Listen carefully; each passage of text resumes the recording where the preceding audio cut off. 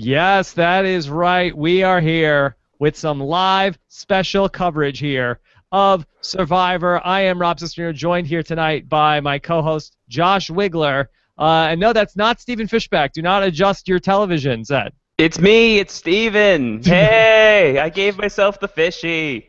Wow, Steven. Oh, you look great, Steven. That's my Steven Fishbach impression you can look forward to in the Evolution of Strategy Volume 2. Yes, oh my God. So big big announcement tonight, uh, Josh. It turns out the Evolution of Strategy Volume 2 is dropping May 22nd. How about that? Yay! Yay! What a big announcement. We did it. Worthy of a podcast uh, in the normal know-it-all spot.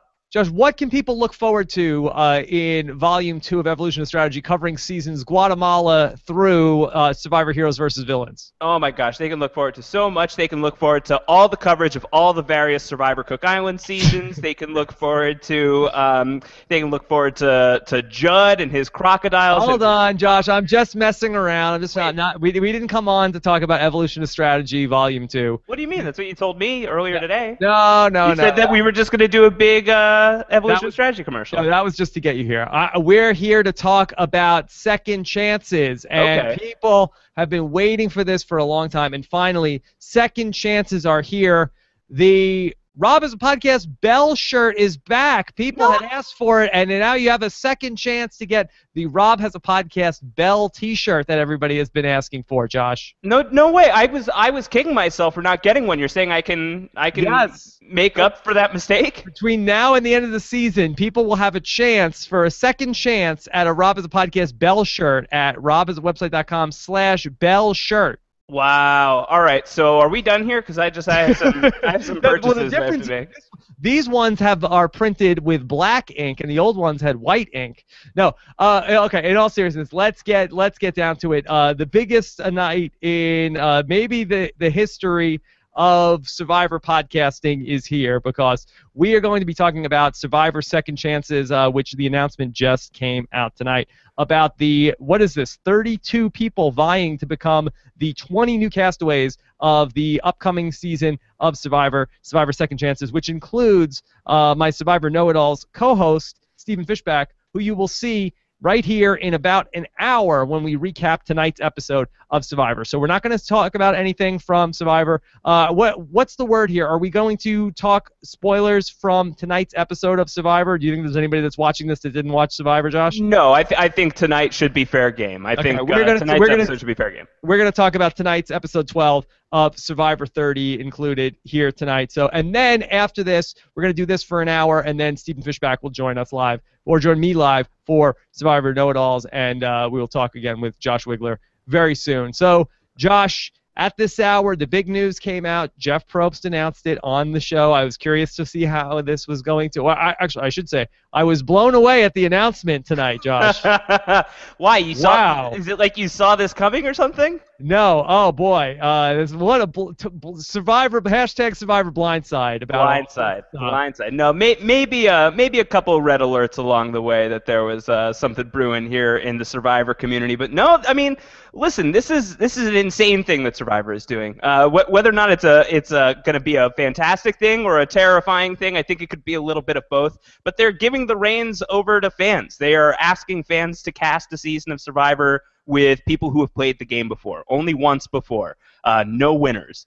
That's a very, very interesting prospect. Uh, you know, you know, we talk a lot about with these with these All Star seasons about how there's pregame alliances, and the pregame is as valid as the game itself. Um, the pregame has never been more valid than it is right now, and it starts tonight.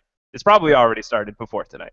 Okay, so so much to get to here tonight, Josh. So what we're gonna do here on this show is let's just talk big picture, talk about what th- what this is, uh, what this means that Survivor decided to do this, uh, talk about the people that are on the list, some people that we're surprised to not see on the list, and maybe even get into some questions along the way. Uh, what's the biggest thing that's a shock to you about all of this, Josh? Um, the biggest thing that's a shock to me about all of this is, I guess, should we should we start with some of these season 30 contestants? Yeah, well, okay, we have of the 32 people nominated, uh, that there are 16 men, 16 women, five people from Survivor season 30 have made the cut. Yes, five people from Survivor Worlds Part two people who are still in the game. Yes, and that is Carolyn and Mike. Yeah, so that's that's surprising to me. I mean, the the premise of this um, seems to be that it's it's people who have not won, people who have only played uh, once before. I believe that the line that we are that we are being asked to to consider is that if if either Mike or Carolyn wins the season, they will not be able to compete in the 31st season of Survivor. Um, is that I don't know. H- how do you feel about the fact that they're included in the mix here? Boy, I mean, if you're gonna do that, um, what should they include the whole final seven, final six? It just increase the pool by however many. I people. mean, if they're gonna, I mean, if, because if that really pool is going to get so many votes. Yeah, that's true. That's that's fair. Uh, I do find myself though wrapping my head around. Okay, oh, does this mean that Carolyn is going to win? Does this mean that Mike is going to win? Does this mean neither of them is going to win? You know, I, I feel like there's not anything that. Yeah, I don't have an issue with it because I feel like I can't. Like I've been trying to uh, wrap my mind around this for the last ten minutes. Uh, since we found out about this uh, cast announcement, Josh, uh, Yes. and since then I, I haven't been able to say one way or another. Oh, this must mean that Mike wins. This must mean Carolyn wins. This must mean neither of them win. Yeah, um, I think you know it's sufficiently confusing enough. Uh, you know, it, it, it doesn't mean anything. Uh, Carolyn or Mike could go out next week, or maybe they're both going to be in the final episode, and that's going to make that night an extra exciting night. Maybe they both lose. Maybe one of them wins. Who knows? It's it's it's definitely interesting to me, but um, I'm I'm pumped up about that. Uh, I'm I'm pumped up to see Shireen in the mix. I'm very excited for Shireen uh, to be eligible for a second chance here. I think that she's got a really good shot of making it back onto Survivor. Uh, respect to Max Dawson. I'm surprised to see Max Dawson in the mix. Yeah, that that is a surprise. Uh, let's you know what? Let's just uh, let's save. Let's go through everybody one by one, and then we'll and then we'll talk a little bit, uh, drill down a little bit more. Uh, like that. Before we get to that, I also want to throw down the gauntlet, Josh. Let's uh, hear it. that this show is an open forum. You know, I consider this podcast, what I do here, this is like the meet the press of Survivor. That people, any of these candidates who want to come on with me and have a fair interview about their candidacy, about why they should go back onto the show, uh, the reasons why. I'd love to talk with each of these people about their seasons, what we could expect for them, and why people should be voting for them to come back. Any of these people who reach out to me, Josh, I will give them I will give them an interview that I think is worthy of the survivor community. I will I will ta- put these people Wow. their paces. Wow. So you are opening yourself up to potentially 32 interviews in two weeks. I am. But here's the thing. I'm not gonna. I'm not gonna. You know. You know. Chase people down. If people want to come on this You're podcast, playing, you're playing the attraction game. You're, you're waiting to see how many people are going to come to you. You want to be the popular kid. I'm not playing a game. Uh, this is not a game. This me. is business. This, is real. bu- this is business. This is real. Uh, I'm. You know. I'm all in. I'm pushing my chips in the middle of the table. I'm here. You want to get back on that show? You want to talk to all the people that follow this podcast? That look. Do you know where to find me? Tweet to me at Rob Cesternino if you are one of these people and you want to come on this show. I'd love to talk to any of you guys. Uh, look, I I can't do a two-hour interview with everybody. Can't do it. Just there's just not enough time in the day with all the other stuff that we're doing here on the podcast. But I'm, I'd love to do you know 30 minutes, 45 minutes, uh, maybe an hour, and talk about Maybe everything two. going on. Maybe two hours. No, we'll see. There's something. There's a couple people I could do. I could eat, I could do two hours standing on my head with some of these people. I Uh, don't believe that. I've seen you in endurance challenges. yeah, I'd love to take questions from the audience, and that's what we're going to be doing here. So I we uh, may already have some uh, interviews lined up for coming into this week and, and this weekend. So be on the lookout for that. Those are all going to be in your regular Rob is a Podcast feed at robhasawebsite.com slash iTunes, or you could grab the Rob is a Podcast app at robhasawebsite.com slash app. We are going to just go completely full service for helping you guys, the voters, make up your mind. Now, Josh, can you talk us through the, what the voting process is going to be like? Yeah, I believe the voting process. So there is a website, cbs.com/slash Survivor Second Chance. You go there, you vote for the 10 men and the 10 women that you want to see on the show. I believe you can rinse and repeat and do that every day. Um, Every damn day. Every damn day, and we've seen what Rob has a planet can do when they uh, when they get to voting. So that could be very very exciting, very dangerous, very fun. Uh, uh, voting is something that this community likes to do. So, Josh, is it 10 votes a day or 10 votes for men and 10 votes for women per day? I believe you, you can vote for 10 men and 10 women. Now, Uh, this is new, news to me as well, so correct me if I'm wrong. Now, this total cast list of 32, those are pretty good odds. You know, if you're on this list, you know, well, I, I'm not a, uh, look, I'm just a Survivor fan. I can't do basic math, okay? You're not a rocket scientist? yeah. You're so, but 20 out of 32 is pr- is pretty good odds. So Those there's basically odds. of, of these people, uh, I mean, you're looking squarely at the face of this cast. There's basically going to be six men and six women that aren't going to get on. Yes, uh, mathematically that is correct. That, yes, and you know, and and you know, less maybe more or less than that, depending on uh, you know, if you have somebody who's a winner. But I guess it's still the same.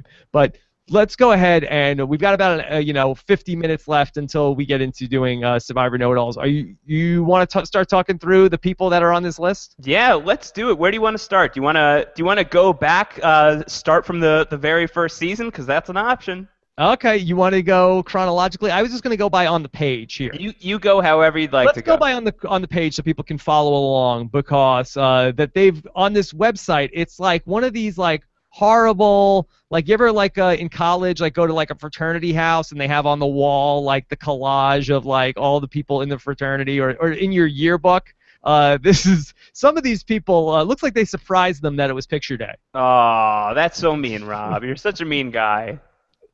Oh my God! what a Some of these- meanie. some people like were ready for the picture, and some people it looks like they really just snuck up on them Ambushed. and uh, and, and, and ambushed them. I hated yearbook day. Yearbook day was the worst. My senior high school yearbook picture is my least favorite thing of all time. I'll post it someday. All right. So uh, what do you? So do you think that's a, that's a fair idea, just so people can follow along? Sure. So let's. Are we, are we starting uh, top left? Ciera Eastin. Yeah, let's start with Ciera with Ciera Eastin Survivor Blood versus Water. That no no surprise to me that we see Ciera back in the mix for an All Star season. I feel like after Survivor Blood versus Water, Jeff was very quickly to you know famously had that moment about Ciera at the finale. Now that's how you play this game. Yeah. And we all said at the time that Ciera was going to be in the mix. Also, a former RHAP Miss Survivor finalist back in 2014 as well. That's correct. Yeah. Um, Ciera is it's it's no shock to see Ciera in in the running here. Ciera's big move, voting out her own mother in the first Blood versus Water season, that was a hugely talked about moment. Her willingness to go to rocks with Hayden. Um, you know, she is she is somebody who's remembered. Uh, certainly in recent Survivor history, I think that her coming back at some point, most people expected that that was going to be at least on the table, um, if not a guarantee. So seeing Ciera here, I like Ciera's odds. Uh, I'm excited to see her back. I'd like to see what Ciera can do on her second time out. Now, when you say you like her odds, you like her odds to return, or you like her odds in the game? I like her odds to return, and I, I feel okay about her odds in the game as well, actually. Yeah. How much do you feel like the recency factor is going to play a part in which six or which ten men and which ten women get back onto the show? I think it plays a role. I, I think it definitely does. I think that there's going to be some of these people who are from the earlier seasons of Survivor. They have um, a little bit of an uphill battle, in my opinion. I think just in terms of really shaking the Survivor community and the people who watch the show and reminding them, yeah, I was here. Remember Australia? Remember these seasons? Um, you know, people that I would really love to see back on the show, but I wonder how many people remember those things. But um, you know, at the same time, seasons like Borneo and Australia were watched by a huge amount of people. Uh, are are those people going to be showing up to support some of these older school players? I think that that could be a factor. But um, the the recency bias, uh, I expect we'll we'll see some of that for sure. Some of these people who played in the past two or three seasons, I think stand. Maybe they, they come into this with a little bit of an advantage that some of the people from the older seasons do not have. For me, I wonder how much the people that have stayed with Survivor all the way through, though, are going to be. You know, it's like, uh, you know, make you know make new survivors, but keep the old. Uh, one is silver, the other is gold. Like Yeah. somebody, like, do you have some sort of a fondness for like a or like some nostalgia for some of these older players that you don't necessarily have for players that played within the last you know year, 18 months? Oh yeah, I mean, looking at some of these players, like um, there there are people. You know, I never ever with all due respect to Kimmy Kappenberg, never expected to have the opportunity to see Kimmy Kappenberg back on Survivor. So just the opportunity to see Kimmy come back, of course I'll throw a vote Kimmy's way. You know, there's there's and, and the thing about it is like the the ability to vote. Like you could vote for all of these people over the course of the next two weeks. You know, there's there's a wealth of people that you can vote from. Just looking at this list, I know you say you like their odds, but there's you know uh, six six men, six women aren't going to make the cut, and it's it's tough just looking at trying to figure out my tens. Um, it's difficult, very hard. Yeah. Very very fun. I'm really looking forward to this, and I'm really looking forward to talking through all of this uh, with you here uh, tonight, Josh. That a lot of people know that uh, we touched on at the beginning of the show that we've done the evolution of strategy. You and I, people have heard us talk about the first 10 seasons. We are just about putting the finishing touches on Evolution of Strategy Volume 2. We have Josh and I have watched together all of the first 10 seasons and now all the way through Survivor Heroes versus Villains. So a lot of these people from the uh, with you know not so recent seasons are very fresh in our minds because we've watched all of this uh, within the last few months. Yeah, um, it's it's pretty pretty exciting to see you know a Shane Powers on there for me. For for example, I mean we had a really good time talking about Survivor Exile Island Panama. Uh, you know we we talked about Tocantins not long yeah. ago. Obviously you talk with Fishbach every week. Um, you know there's it's it's good. It's good stuff. It puts a smile on my face. All right, so that's Ciera. Let's keep moving. We got uh, still 31 more people to uh, touch on here tonight. Here's Cass, and really uh, no surprise to see Cass in the mix for a returning player. What do you think about the prospects? And again, I don't want to turn it into uh, will they get on, won't they get on, but what about Cass being back here? Um, Cass being back is another shoe in for me in terms of this is somebody who was going to be in the conversation at some point down the line. Um, the moves that, that Cass made, while a lot of people don't think were necessarily the right game moves, were explosive, were hugely entertaining. Um, Cass is as responsible for Survivor Cagayan being one of the best seasons in recent memory as anybody. Uh, I stand by that really firmly. You know, I love Tony, I love Spencer, I love all these people who made that season such a magical season. But Cass, you take her out of the mix, and that season is no nowhere near as awesome as it is. Um, so seeing Cass back in the running for Survivor, um, seeing what she might be able to cook up in another season, especially playing with All Stars, is very exciting. Uh, and I wonder what she's learned if she gets to go back. I wonder, um, you know, she I, I, got the chance to, to interview Cass on the red carpet after the Cagayan finale, and she was the first to admit that her social game needs some work. Um, Rob, you famously talk about the social game as the hardest thing to master in Survivor, mm-hmm. and potentially um, potentially impossible to learn fully. Um, so I wonder how, how Cass is compensating for this. Uh, if she gets back out there, uh, I wonder how much that's on her mind. Um, just more than anything, though, just the prospect of some more Chaos Cass uh, is is really cool. Really cool right now. I'd be extremely interested to see what a uh, Chaos Cass 2.0 looks like. I think that would be uh, very, very fun. And whether or not it is an effective uh, game for her the second time around, you know it's going to be good TV. So yeah, absolutely. Be very, very, be very excited to see Cass back. All right, Monica Padilla, Josh, and this is one of the more intriguing names on this list to me because uh, she's somebody that you and I just recently looked at on Survivor Samoa, and she's somebody who was kind of a non-entity early on in the game in Survivor Samoa, but towards the end of her game, she really did start to come into her own and mix it up with the one and only Russell Hantz. Yeah, it's it's funny because I, I think that Monica Padilla, just looking at the names of this list, Monica is one of the ones that I think some people are going to scratch their heads and say, what? There was another Monica in Survivor history, and not named Culpepper. Mm-hmm. Um, Monica Padilla. It's it's easy to forget a lot of people from Survivor Samoa, frankly, because of the Russell edit being so huge, and Russell Hantz just being the greatest survivor of all time. Uh, but Monica is one of the few Galu that truly stands up to Russell in in uh, her final days in the game. She really gets under his skin in a very big way. Um, like you said, Rob, you know she kind of comes out of her skin you know, right towards the end of her time in the season. But what we see there is very interesting. Um, I think that in All Star seasons, the people who you don't remember very well can do pretty well. Um, Monica Padilla, you know, we could talk about her chances of getting back onto Survivor, but I think if she were to get back onto Survivor, could be a really stealthily dangerous person out there on the beach. Yeah. And there's going to be all of these like little connections that we can see if we connect the dots. But one of the more interesting things to me is Monica Padilla was so close with Laura Morett in Samoa, and of course Laura Morett's not in the mix here, but her daughter. Her daughter is sure.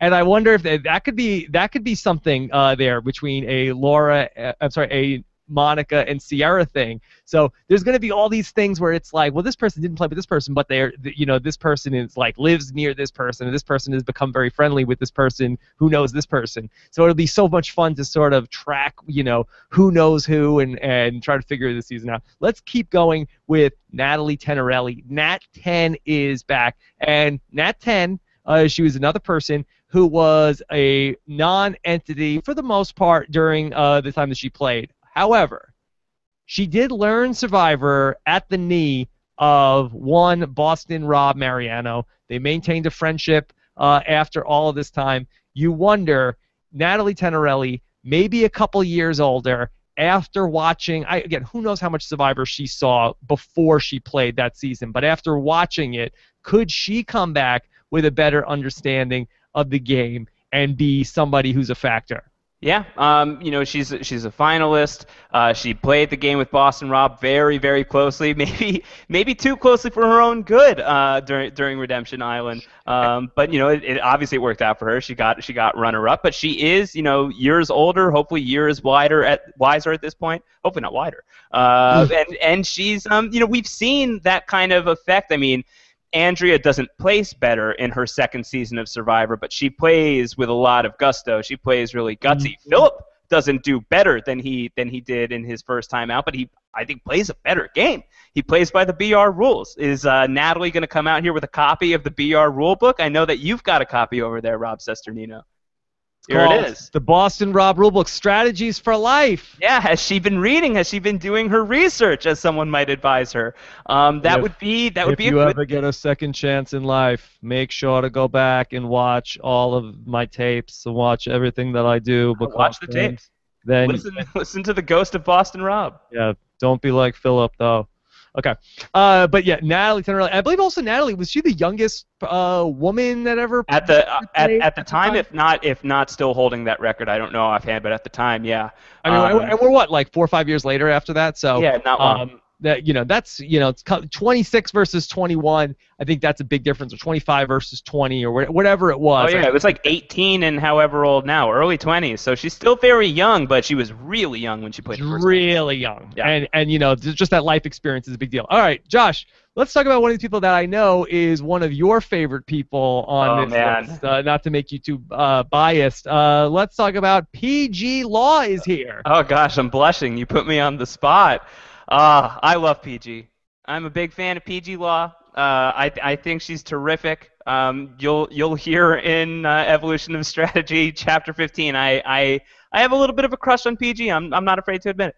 Yeah, that's uh, very exciting to see PG on because she's somebody who was a little bit sort of forgotten in the Survivor in the Survivor playing world. I know that I never heard her name come up too much, but happy to see her back here in the mix, especially after rewatching China. I thought she was somebody who definitely showed some signs of having a, a good game. Felt like she got a little too caught up in the "you didn't take me on" rewards, yes. a little bit of the Rodney uh, the re- reward stuff, and she gets into a big fight with James over over that sort of stuff. But PG 2.0 could be very interesting. Yeah, PG 2.0 could be interesting. I think that PG, you know, she, she's she's strong in challenges. She's got a great great head for strategy. Um, you know, she was she was down in numbers. She was in a difficult spot to come back out of that hole from. I think that you you identified this just now, and it's something we talk about a lot in the chapter. Is that PG definitely does get a little bit of the, as someone might say, some crybaby-itis when she's not taking on rewards, when things don't break her way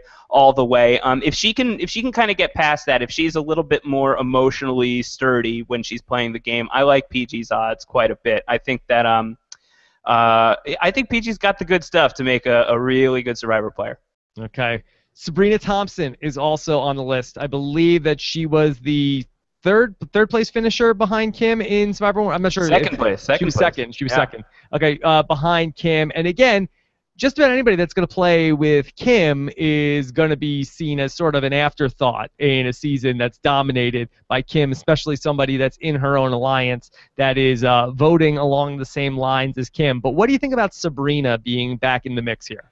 You know, Sabrina, I, I think back to, to Survivor One World, and that's a season that does not get a lot of love, and I understand why. I have I have a soft spot for Survivor One World, as I've said on the podcast with you before, Rob. Uh, it's the first season you and I actually talked about Survivor ever, if you can think back that far. I can. Yeah, and it I was it, it was a good time, and I I liked Sabrina a lot. I mean, that season it's it's tough. You know, Kim walked all over that season, um, and she had a she had a straight line to the finish. She was really, really, really good. I still think Kim, um, if not my favorite winner, is is very close to the top. Um, I like to think in, in my mind that I haven't watched One World too too recently. Um, but when I think about Sabrina, I think about a player who's underrated. I think about a player that has a good head on her shoulders, uh, a smart player, a funny person out there, uh, somebody that people really like.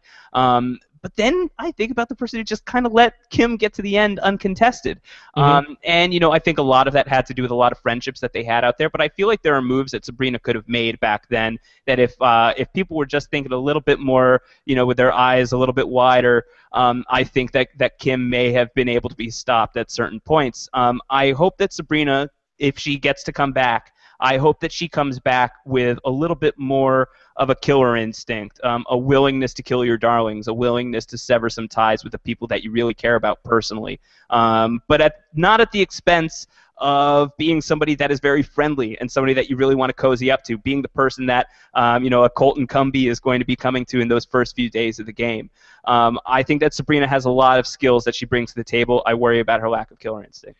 Josh, what do you think of the theory that we've talked about? And I feel like this is uh, something that Steven has mentioned before that returnees come back to the game with the mindset of the player that won their season. A little bit like of a Peter Petrelli thing, where they come they come They have the back- power of empathy. they- they have they come back with the with what however the person that won their season played they come back on their second time and try to get a little bit of that going and they try to add that to their game do you think that that is a real thing So Sabrina is going to come back to Survivor Second Chance and is going to s- step on the beach and walk to the finish line, uh, and everyone is going to get out of the way. Or at least try to at least, least say, try how, do to. I, how do I play this more like Kim what would Kim do Well, we saw a little bit of that, uh, arguably with Kat in in uh, Blood versus Water. I think that there was a lot of people who thought that Kat was trying to play some kind of a Kim Spradlin game. It doesn't work out They for did? everybody. people It- thought that I, I think that some people thought that maybe she thought that she'd be able to do that. oh okay yeah Uh, I, I but- didn't see that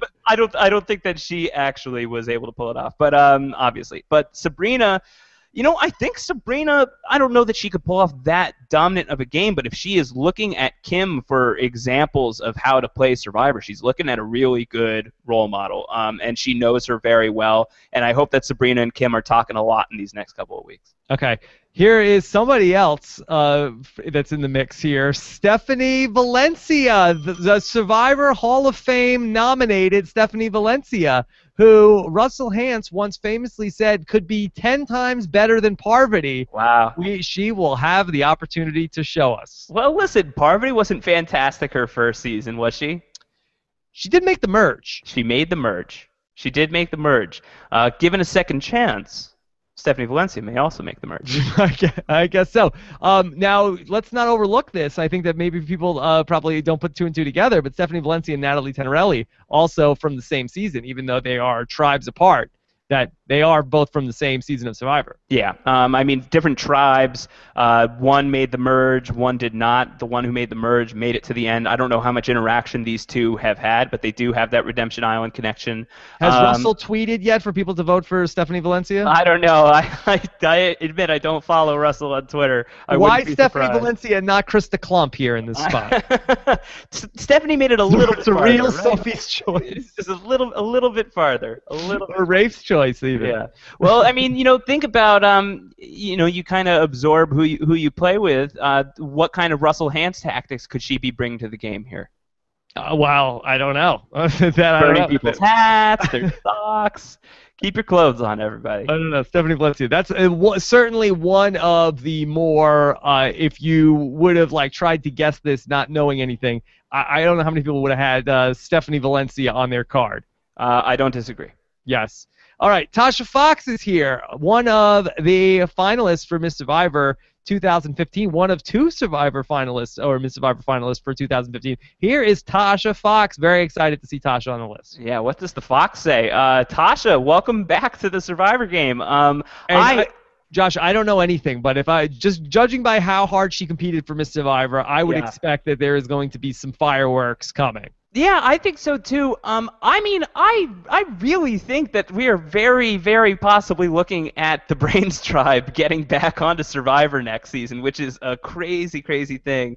Um, Tasha's great. Tasha, you know, Tasha was a was an immunity beast. She was she was winning challenges. She, I think her streak was what three immunity challenges. I think is is how how far she got with that. Um, really impressive in these challenges. Really, really smart player.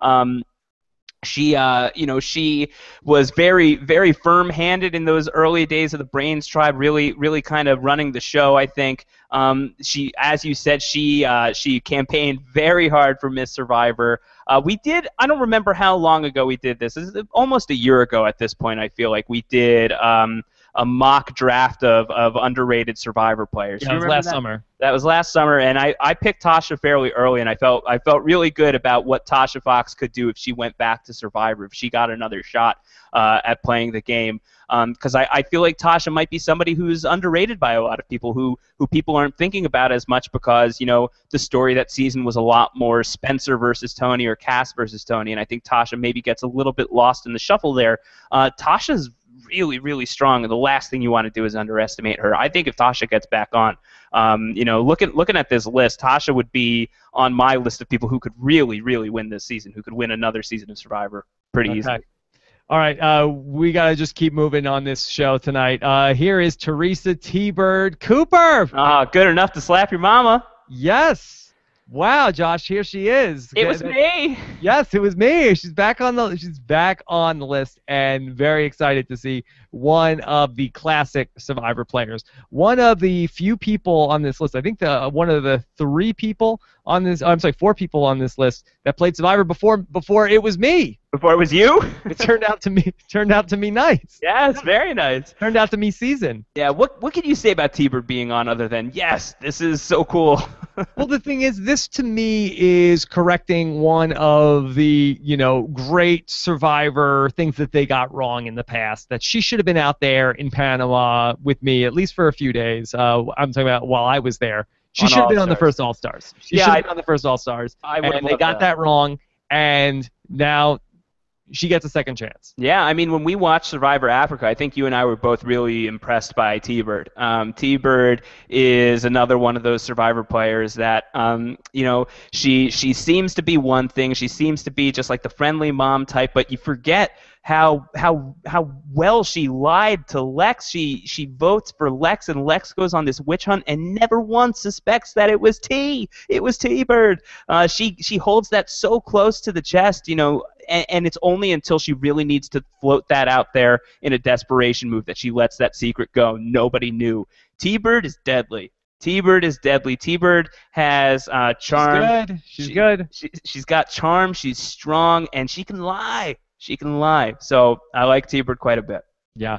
I when we went back and watched the season, I, I came away more impressed with her than I was with Tina. With all due respect to Tina, I felt like uh, she was really good. She you easily could, and we came up with it in Evolution Strategy Africa. You know, a couple of scenarios where T-Bird could have won this game. Yeah, for sure.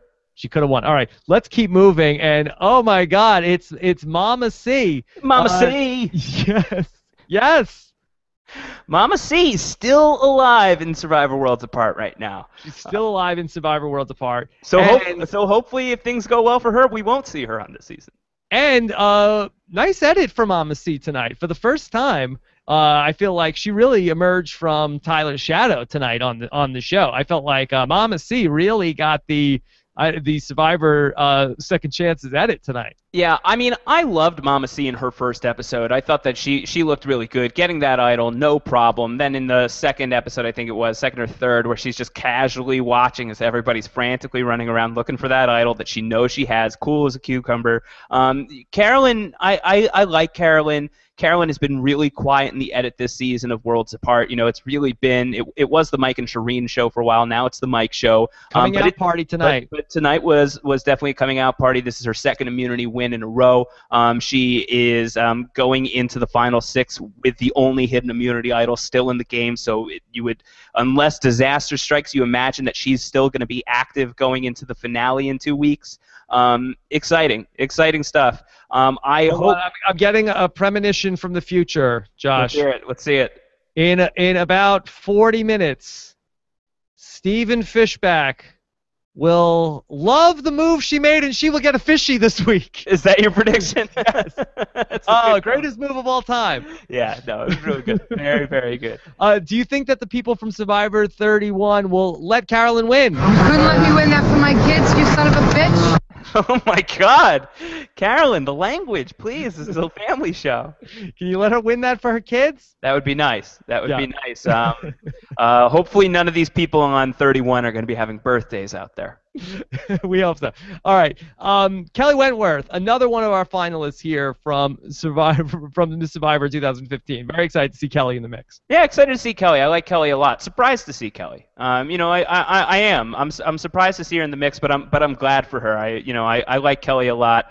Um, and I think that she and her dad uh, were both two of the people in the early early stages of uh, San Juan del Sur that seemed to have some sense of uh, history with with Survivor, seemed to have seen more than one or two seasons. So I really liked her back then. I was very sorry to see her go as early as she did. Um, in, interested to see what she could do if she got another shot. Okay. Kelly Wentworth is, is back and in the mix, and another uh, strong campaigner. Had a real grassroots campaign for Miss Survivor, and I think for uh, some of these people that went through the Miss Survivor process, I think there's probably no better training for this upcoming process. Than That's it. That's boot camp. Yeah, well, that's that's boot camp for you know mount a campaign and get out the vote and get people to uh, go and vote for you on a daily basis to do stuff. Uh, that is a you know, a, a great way to train for something like this. They had no idea this was coming. Yeah. But it, was great practice. Um, and we'll see if ultimately it's going to be the difference maker for a couple of these people that went through that process. Kelly Wigglesworth is back. Unbelievable. Yes. Cannot cannot wait.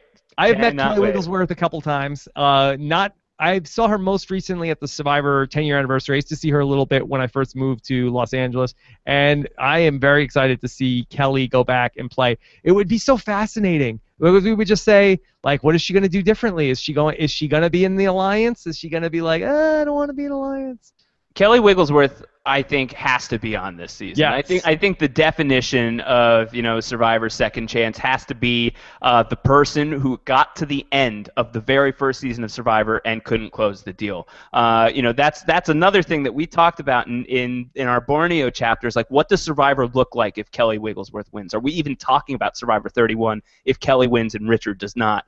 Um, we, we will never know what that alternate history looks like, but I do think we will know what the what the real history looks like when Kelly gets another shot on Survivor. I did not think that we would ever get here. I did not think that we would see Wigglesworth back on Survivor, but I really do believe that as ironclad as it can get out of this cast list, I think that Kelly Wigglesworth is one of one of the people that I would say lock it in. She'll be on. I don't think it would be great though. I feel like she'd be like one of the people out there, a la Colby in Survivor Heroes versus Villains, when he has that scene with Candice. And he's like, uh, "You know who that is? You know who that is? Uh, I don't know who any of these people are." Uh, yeah. I do feel like Kelly would be. Has she been watching? And it's like, uh, who is uh, who is that guy? Who is who's that? Yeah. Which, which, guy with the is that with the glasses? Well, you and know, she's got she's got two weeks to study. She's got to study. Got to study. study. Yeah, yeah. Kel's bells. All right, Kimmy Kappenberg is back. I will always get your finger wagged in my face. Uh, I hope there are no chickens out in uh, in 31. Yes. Josh, how perfect would it be if not only Kimmy Kappenberg comes back, but also Jeff Varner, and they're on the same tribe? How uh, Jeff is like, I'm back. Ah! it would be a disaster. Of, of beautiful proportions. Kimmy Kappenberg. Kimmy Kappenberg, yeah, Kimmy Kappenberg is back. I hope that her late night conversation has changed a little. Oh boy, oh boy. Josh, what were the chances if I would have told you like six months ago that we would be talking about Kimmy Kappenberg being relevant to the Survivor universe in some way coming up this year? Like, what Low. is, like, like the, the, there'd be a zero point zero zero zero zero percent chance. yeah, I I would have all the faith in the world that that would not be happening. Yeah. Um, but it's it's it's uh it's amazing. It's amazing that Kimmy is in the mix here. Never would have predicted that. Never. Yeah, well, here she is. All right. Mikayla Wingle is back. Uh, so it could be with uh, Wigglesworth, Wingle, Wigler, uh, Wentworth. We got a, a lot of A lot of W's W's. Yeah, loving it. In the mix here for Survivor 31, Survivor Second Chances. So, Josh, uh, here is Mikayla. And earlier in this program, I told you that, to expect the Russell Hantz tweets to be coming for Stephanie Valencia, but Breaking news are happening now. All right, at this hour, we can confirm that Russell Hantz has officially on Twitter endorsed not Stephanie Valencia, but Mikayla. He says, uh, if anybody deserves a second chance, it's I love Mickey. Her departure was only because of a crazy man, quote unquote. Hashtag vote for Mikayla. And Oh then he God. also tweeted, America, it is time to vote. Vote for me girl. I love Mickey to have a second chance. She will kick ass and take names. Believe that. I even like Mickey. Yeah. All of these other players, I don't even like. Uh, and also, he has also endorsed uh, Monica Padilla. wow. See, he knows. Boy, there must have been a falling out with Stephanie Valencia. He knows what she could do. Yeah, I kind of thought that Stephanie Valencia was on here because of the Russell thing. I don't know. I don't know. I don't know what to say. All right. All right. Uh, so let's. Uh, we got to keep moving because uh, we got uh, Steve Fishbach. Sure, that's about all I had to say anyway. Yeah, going to be wanting to get on and talk about Survivor Know-It-Alls uh, soon. But Mi- Mikayla Wingle is back. Is back. Yeah. True Um, facts. Yeah, she was. uh, Look, she was uh, very strong in the competitions, and uh, ultimately, you know, Brandon Hantz was part of her downfall. I believe that he said she's Delilah. She's Delilah. I don't even like Delilah. Yeah, we're just I like Samson. we're just doing Russell Hantz for Brandon Hantz. But yeah, he said she was Delilah. She was a temptress. Uh huh. She couldn't have her be out there. Um, but Mikayla, uh, let's let's see what happens if she has another shot. All right. Fingers Okay. crossed. Shirin. Shirin is back. Uh, Shirin had a very high profile appearance on Survivor 30, Worlds Apart, and here she is back in the mix. back in the mix. I think Shirin will be on the next season. I think that, um, you know, Shirin, Shirin, uh, good, good for her to have like worlds apart as VR training and like an, you know, an opportunity to get her her Survivor nerd jitters. VR training? VR training, yeah. Uh, but to get her Survivor nerd jitters out of her system, because you know, I think uh, if if she were to go back, not that she wouldn't be, you know, appreciative of the experience, and I'm not saying she'd be jaded or anything, but I feel like she'd at least know what to expect to a degree. Um, and you know, we really, I don't think she did uh, with with round one. Um, you know, you, you saw it all through her game and Max's game as well. Um, and really, towards the end of her game is where she really starts to turn it on. Um, Shirin has has a lot of fan support. I think. I think. Um, you know, uh, America, if not America, uh, was really on her side in, in her final few days of the game. I would be shocked if Shirin does not come back. I, I would be very surprised. That would be quite an upset if uh, Shirin doesn't end up coming back. All right, let's talk about Abi-Maria is in the mix, Josh. Oh my God! If you do not vote Abi-Maria, you are a moron and an idiot. Don't be a moron. Don't and be a an moron. idiot. Don't be like Skupin. or RC. Yeah. Oh, and RC not in the mix on the snub list. No RC. Um, you know, if, I think it was going to be Abi-Maria or RC. Yeah. I, I, I don't think they were both going to do this together. I don't think they were even going to be in like the same possible uh, op- opportunity to be on Survivor together. No. Okay. All right. Yeah, we we are robbed of seeing that, unfortunately. But uh, the Survivor producers chose not to go that way, and so let's go. Or Abi-Maria is going to be the uh, lone Philippines uh, representative. The lone Philippines representative. That's Okay. that's a that's a surprise to me. Yeah. All right. So here's Abi-Maria, and uh, what do you think about Abi-Maria 2.0? Um, I don't know that Abby Marie is ever. I don't know that she's ever going to be my person that I would bet on to win the game, but she is somebody that I would bet on to to make me laugh week in and week out. I think that the the world will be poorer if Abi-Maria does not get back on Survivor. Be very fun to see Yes. Abby Maria back on the show. All right, uh, let's keep moving. Let's talk about the guys. Uh, Jeremy Collins and uh, Josh. Uh, what would we be if we did not include uh, Jeremy Collins on Survivor season 31? We'd be so dumb, These guys are so dumb. so dumb. Yeah. Oh, very excited to see uh, Jeremy make the cut here. Yeah, I mean Jeremy, the the heir apparent to San Juan del Sur at one point. He was the guy who was supposed to win, right? former uh, Mr. Survivor finalist 2015 as well. Yep. So he has uh, again uh, didn't run a spotless campaign. He probably uh, could probably could have that could have been his VR training. That could have been. Yeah. But here he is. He's back in the mix. Uh, very excited to see if he can surround and drown the competition. Yeah. Oh man, Jer- Jeremy being back on would be a good thing. That'd yeah. be good. He's a funny guy. I, I, he's a funny guy. He knows the game. Well dressed. Yes. Uh, handsome man. Great at the finale. All right, let's talk about a uh, recent guest on the podcast. Uh, Jim Rice is back, and this time, will anybody be able to uh, screw him over? Cochran, you screwed me over. Voters, don't screw me over. you took me out of the running. Yeah. Okay.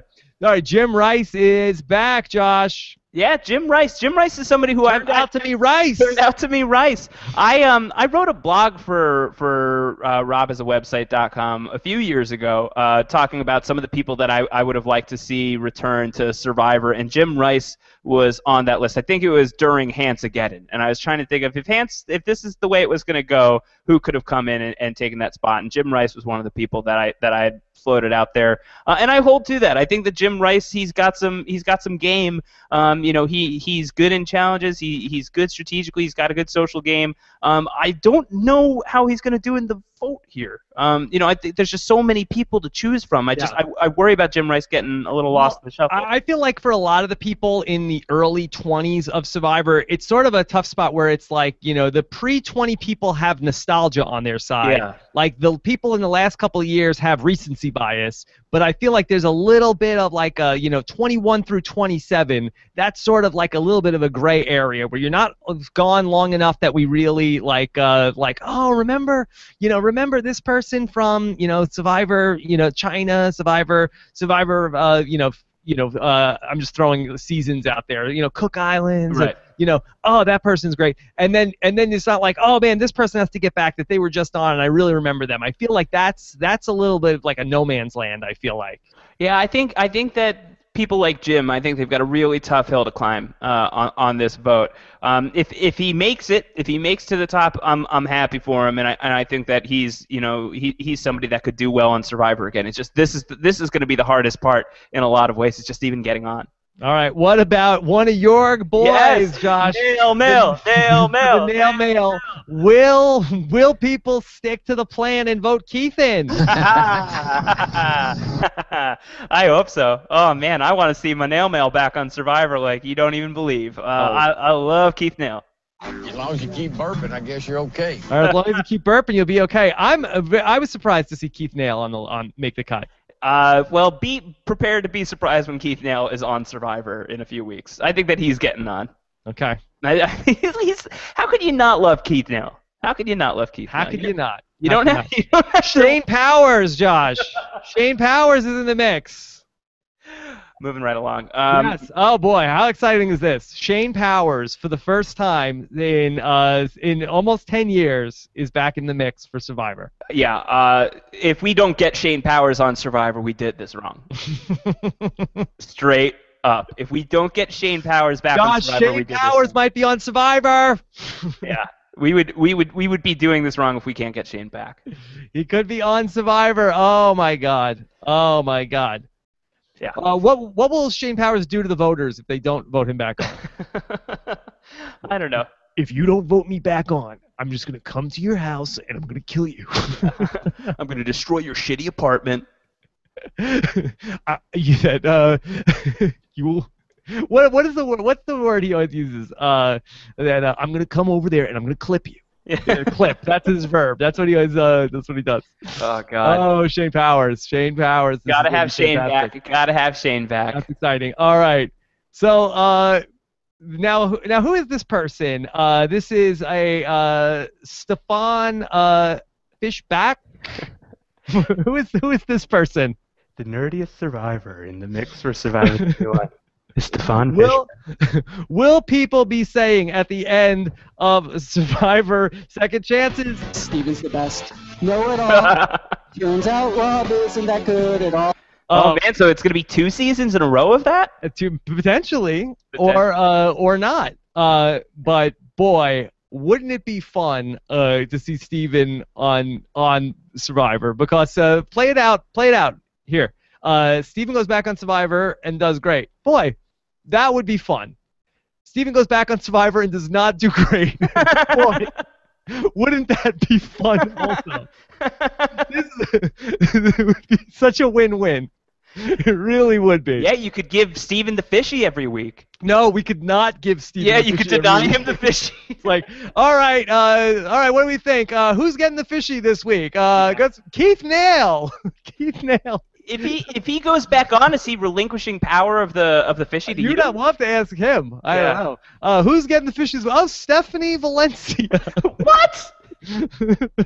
This is my week. yes. Oh boy, the that would be fun, fun, fun. Oh boy. Yeah, fishy, fishy. You know that's that's that's pretty that's pretty amazing. Yeah, the the opportunity to see to see him go from know it all to Survivor. See if he can if he can uh, put all these years of talking about Survivor to practice after uh, after Token Tocantins, where he played a really strong game. I was actually more impressed with him in, in our Tocantins rewatch than I expected to be. Yeah. Uh, no, no disrespect. It's just that 7-0 vote. It stands out, and that tribal council sucks by his own admission. Uh, but Steven was was really good that season. Other than that final that final day. Yeah, and it was very contentious final tribal council on the on Yeah. the rewatch. Like JT really like Steven JT really went ex- for it. was not expecting uh, JT to go for the jugular, and Yeah. he really did. And Yeah, Steven yeah. was just like a little bit taken aback, like, "What? I thought we were." Yeah, he he was like stunned. You know, it seems like he was like punch drunk. my friend. Why did you do this to me? Yeah, absolutely. Yeah, and what did JT say? Uh, he said, I don't know. I thought that we were friends too, Steven, but you didn't seem to want to be my friend anymore. So I told you that I was going to vote you out right now, but I stayed with you and stayed true with you to the end. All right, all right. Coming up in chapter 18, uh, TEOS. All right, Jeff Varner is back in the mix. Keep the peanut butter away from this season. Now, again, this is just like with T-Bird. This is one that they got wrong a long time ago, and we talked about this when we did uh, the All Stars chapter of TEOS. Hard to pick a guy from that list of people that they selected and say, okay, we could sub this person out and put in uh, Jeff Varner. Probably would have been better off take me out, put Jeff Varner in, Is that right? would have been better for everybody involved. And then, uh, but they right or wrong that they made uh, way, way, way back. Yeah, you know, Jeff was in that spot where it's like, when are you going to bring him back? You know, if, if it's not going to be All Stars, and it wasn't, you know, and as you said, it, it's really hard to think of how they're going to take any of the guys off of that list and put Jeff Varner in their place. It's just hard to hard to picture. But you know, Jeff Varner, uh, you know, screwed over at the, if you want to call it that, at the merge vote. Somebody that a lot of people thought was really ha- had a really good shot at, at doing really well if Kucha had broken into that merge Yeah. with numbers. He got Um, screwed. He got screwed, and ironically, the person that screwed him in Kimmy Kappenberg is there. Oh, there could be some. It could be revenge. Could be redemption. Very juicy storyline, Josh. Yeah, she'll tell the other tribe. Do you guys know that Jeff Varner got two votes back in Survivor the Australian out there? oh boy, I mean, and and uh, that and might. Jeff Varner looking Penner-esque in his picture. yeah, I was like, what is Penner back in the mix? Yeah, Jeff Varner. good. All right, uh, let's talk about uh, Joe. Joe is back, Josh. Gorgeous Joe. Yeah, Uh, didn't Probst tweet a couple of weeks ago like, all right, I hear you guys. You like Joe. We got to figure out a way to get him back. Oh, so you think that he was talking about this when he said that? So Probst is already stumping for Joe. Yeah. Again, uh, I'd put Joe in the Shirin category Yes. of, you know, between the recency bias, they got a good at it. They seem like uh, seems like a nice, like a likable, nice guy.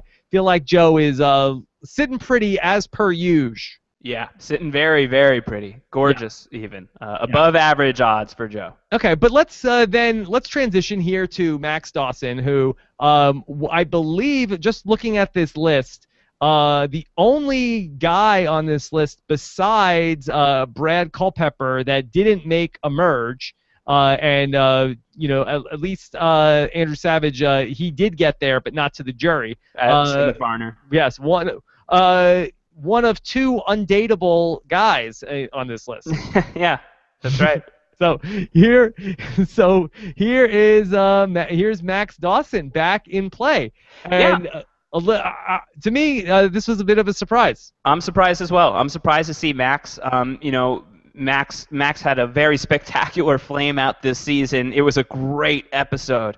Uh, you know, if you're if you're gonna go out early, at least go out memorably. And he had a really memorable exit, and you know, uh, bringing out "Hold Up, Bro" and all of that stuff. It was it was very very entertaining. But I'm I'm shocked of, of all the people that we could be bringing back for for a season like this. I I am surprised that Max is on the list. I really am surprised, and because to me, that on the screen, I didn't see it. But what this speaks to, at least for me, is that production must have really loved having Max out there. Absolutely. That they want to say, okay, this is, you know, we we want we want a, a do-over on this, and that they want to get Max uh, back out there in the mix. So I, you know, like I trust uh, if they if they said that they that they saw it.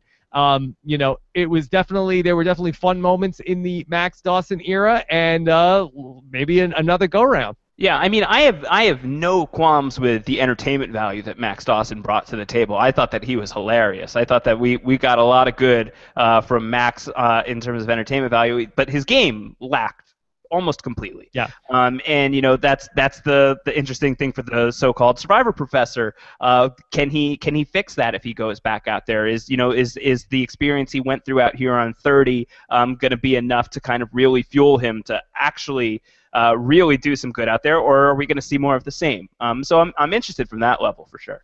Hashtag Dirty Thirty, and uh, I mean that's got to be one of the stories going into this season of you know the Survivor 30 people. Obviously, they're all very they're all very friendly. Uh, are they are they a target or are they controlling the board of like you know controlling the action of what's going to be going on with potentially five season 30 people in the mix? And let's keep going. Mike Holloway uh, apparently uh, came from a uh, costume party going as Wolverine and went right to CBS. And I thought you were going to say uh, sexy Abraham Lincoln. sexy. Oh, he's, he's sexy Abraham Lincoln.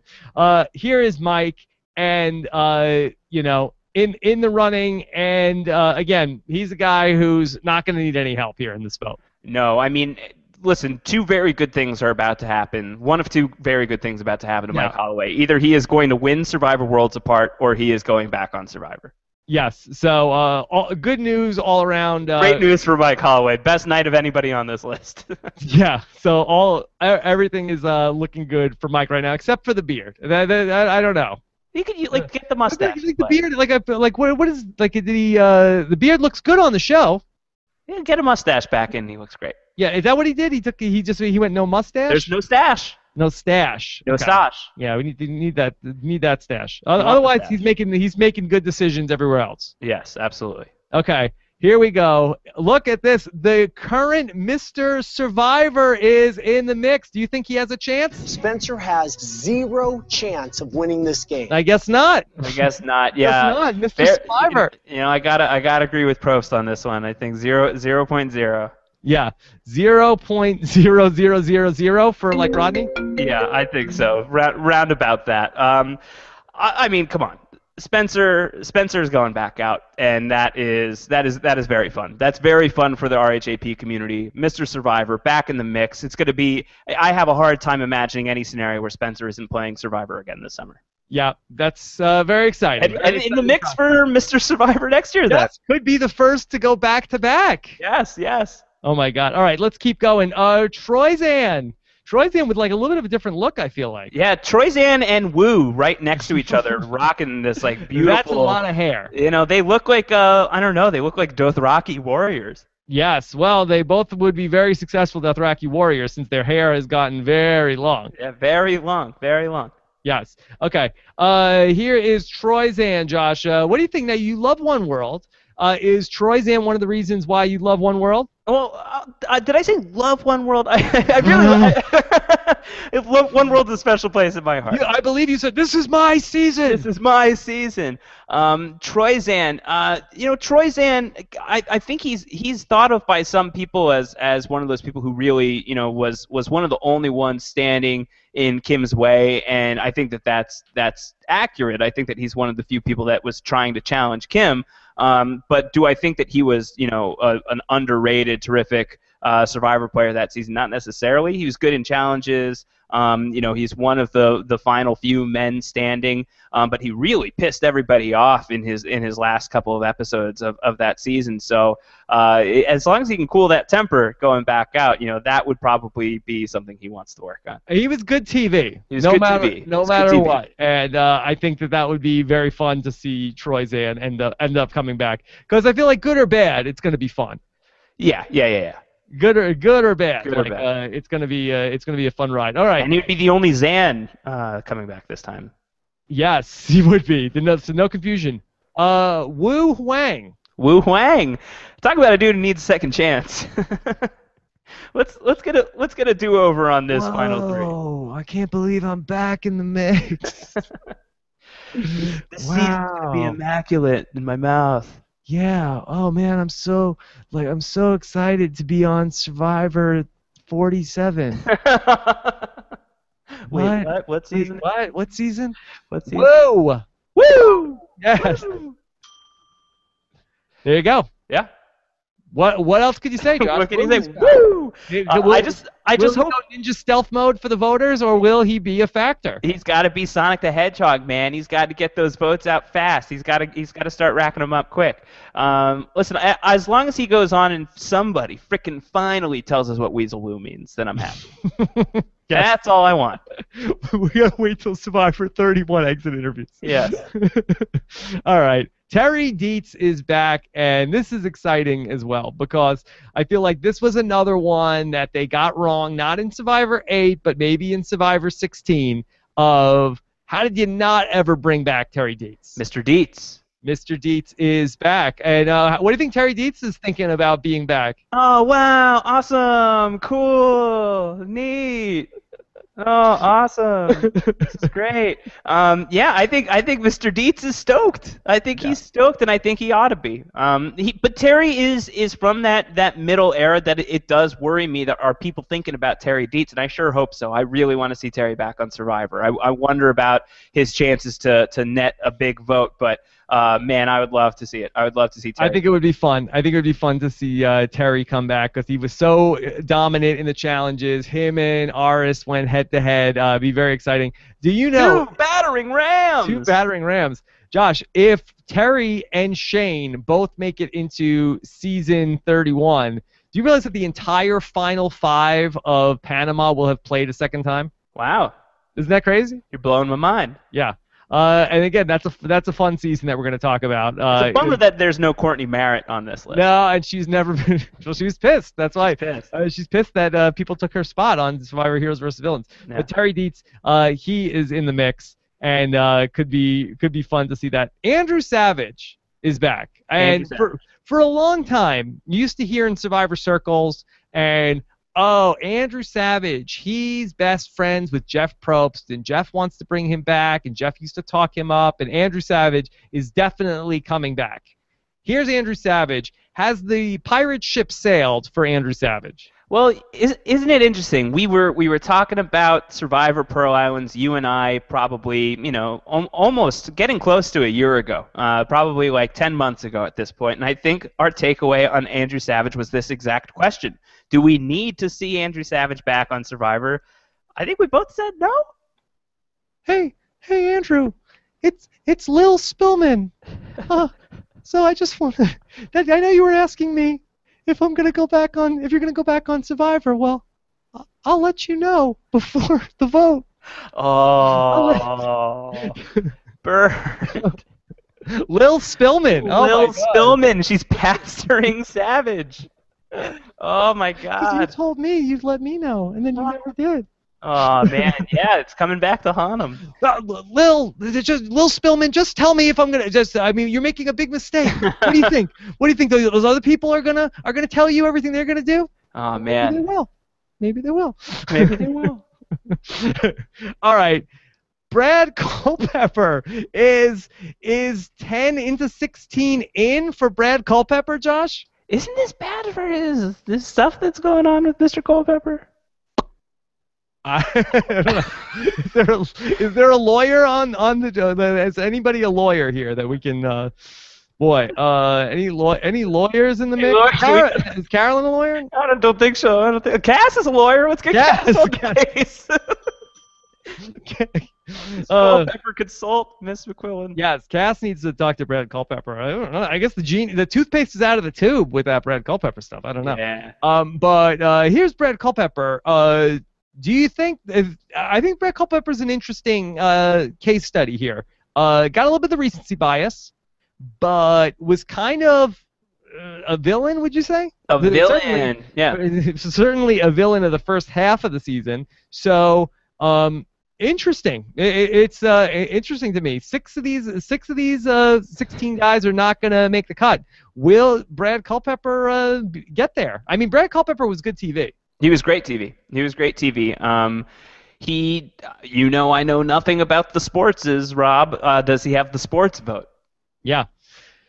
Boy, I, I can't imagine sports fans saying. I mean, Brad Culpepper is not like a uh, one of these figures that we've seen in sports where it's a guy. He's a guy who like uh, sports fans are like, oh man, I gotta I gotta watch that. He's not a Jeff Kent. He's not a Cliff Robinson.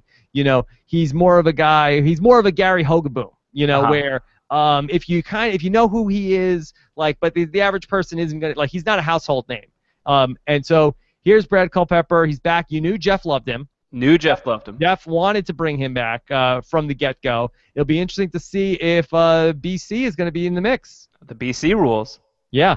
Um, and also, uh, our last person here is uh, Vytas Baskauskas, an- another recent guest of the show. And so, uh, will the Survivor producers be saying, Vytas, you should totally come to Survivor season 31? you should totally come to yoga. Is uh, yoga the place that this season will be filmed? That's Is the name a- of his tribe. That's his yoga tribe. Yeah, come to yoga. That's the name of the merge tribe. Yes, Uh, merge tribe. Yeah, Vytas. So some interesting connections here uh, with with Vytas in the mix. Of course, Vytas and Brad Culpepper, uh, tribe mates in Survivor Blood versus Water, um, and then uh, Vytas Baskauskas, also brother of Aras Baskauskas, who played with Shane and Terry. Yeah. So that's an interest. That's an interesting uh, connection there as well. Yep, connected to Ciera. You know, there's there's a lot of interesting connections. You can make Vytas. those season 27 slash Panama connections across the board. Yeah, uh, yeah. A, a lot of this goes through Vytas. It feels like. Yeah, that he could be he could be connected to a, a couple people, but we don't know uh, it, who's going to be there and who's going to not be there. Yeah.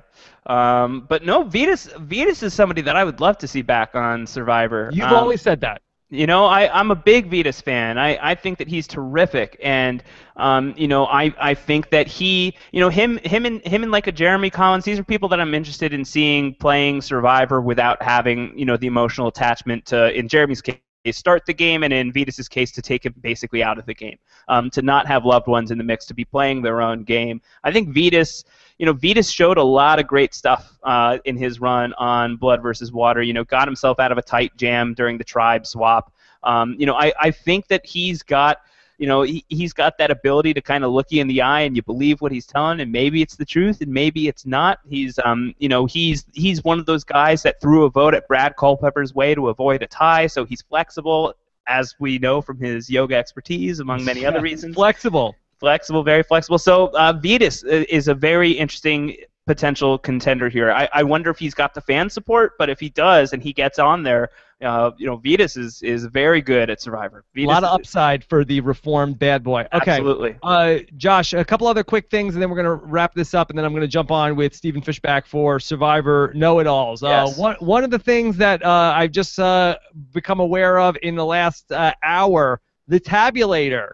Kurt Clark, uh, has put together an RHAP exit poll. Oh, All right. So one of the things we're going to be doing is uh, we're going to be uh, if you want to if you want to tell us how you're voting along the way, and so we could sort of you know keep tabs and at least at the end of this compare our notes to what ultimately ends up happening to be able to tell all right this was the cast RHAP wanted. Uh, let's go ahead and let, let's do that. I think that would be fun. We've set up the rules to be exactly identical to what the CBS rules are. Uh, same, all the same stuff. Go to robhasawebsite.com slash exit poll if you want to uh, keep up with the uh, voting of whatever you do there. If you recreate it here, it's like when you come out of like casting your votes, uh, the reporter asks you, "So, uh, what did you vote for?" And they're like, hey, "We've conducted our own independent exit polling, and uh, you know, uh, Andrew Savage is, uh, you know, uh, in in the mix right now." So that would be very fun to be That's able awesome. I love that. to see how you guys are, are voting. Uh, also, uh, Josh, real quick, uh, let's just talk a couple snubs. Uh, a lot of great names on this list. Uh, who'd they leave off? Uh, there's, you know, I, I would have liked to have seen some older school competitors. You know, um, there's there's a lot of people from from like Marquesas that I would have liked to see. I'd like to see Sean Rector here. I'd like to see John Carroll back in the John mix. Carroll, I had on my list. you know, Yeah. Pascal English is the epitome of a person who probably didn't get snubbed. Uh, it is probably okay. I Uh, mean, yeah, Pascal, I think is getting. getting I was gonna say there. like um like Burton instead of Savage maybe, but he already had a second chance. he had his second Well, I, chance. I, I only got voted out once. Yeah, yeah. Well, you got your second chance though. Yeah, but, But please. but um, still. what do you, what do you think? Like uh like Ian, I would have liked to see Ian, Ian in the Rosenberger, have him on my list. Um, Coby, I would have loved to see Coby Coby, Archer. here. Again, he's another person that's been in the mix uh, for a long time. Uh, to me, uh, what happened with uh, Marty Piombo? I feel like Yes. that he was somebody who was always uh, in the mix, and Holly Hoffman. and Holly too. Hoffman. Those, Well, I don't understand what happened with Holly Hoffman. I feel like for years we're hearing about Holly Hoffman's going to come back. Holly Hoffman's going to come back. Uh, I don't know exactly what went on there. Uh, where's Hayden Moss? yeah. Where is Hayden Moss? He Very must have said no. He, must have said no. You know, he he had to have he had to have turned this down. I can't imagine Survivor didn't want Hayden. Um, very surprised to see him not here. Yeah.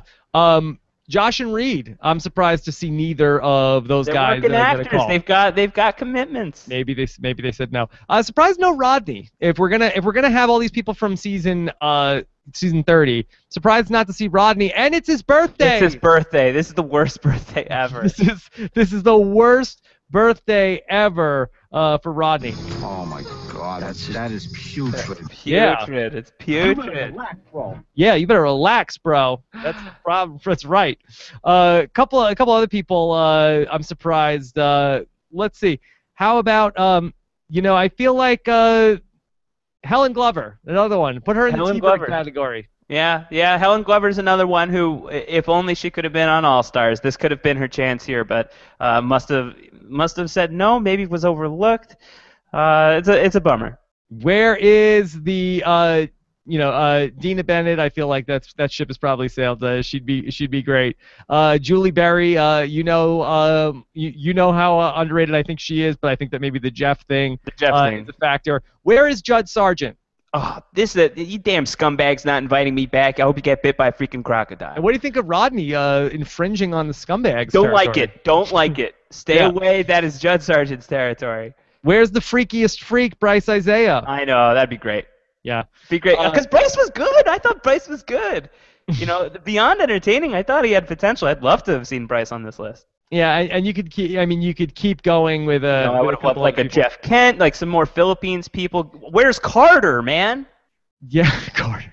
Get Carter. Yeah, no, uh, no Cliff Robinson, no, no Jeff Kent. I figured, uh, you know, th- those were some of the names that were uh, sort of in in the mix. no Eddie and- Fox, so no hope for the dog bar.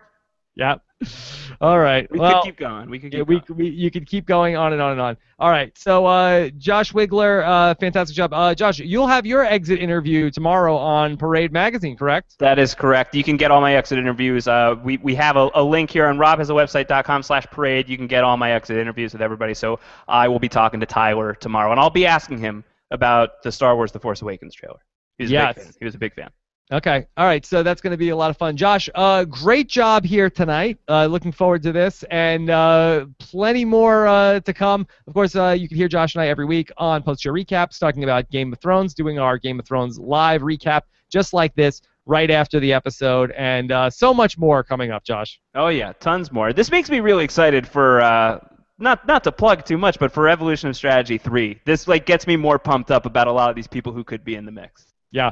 All right. So so much to do, and uh, I will be back in about less than five minutes uh, with Stephen Fishbach for Survivor Know It Alls. Take care. Follow Round Howard on Twitter. He's at Round Howard. I'm at Rob Cesternino. Uh, do we have a hashtag for this show? Uh, hashtag for this show. Lil Spillman. Lil Spillman, sure.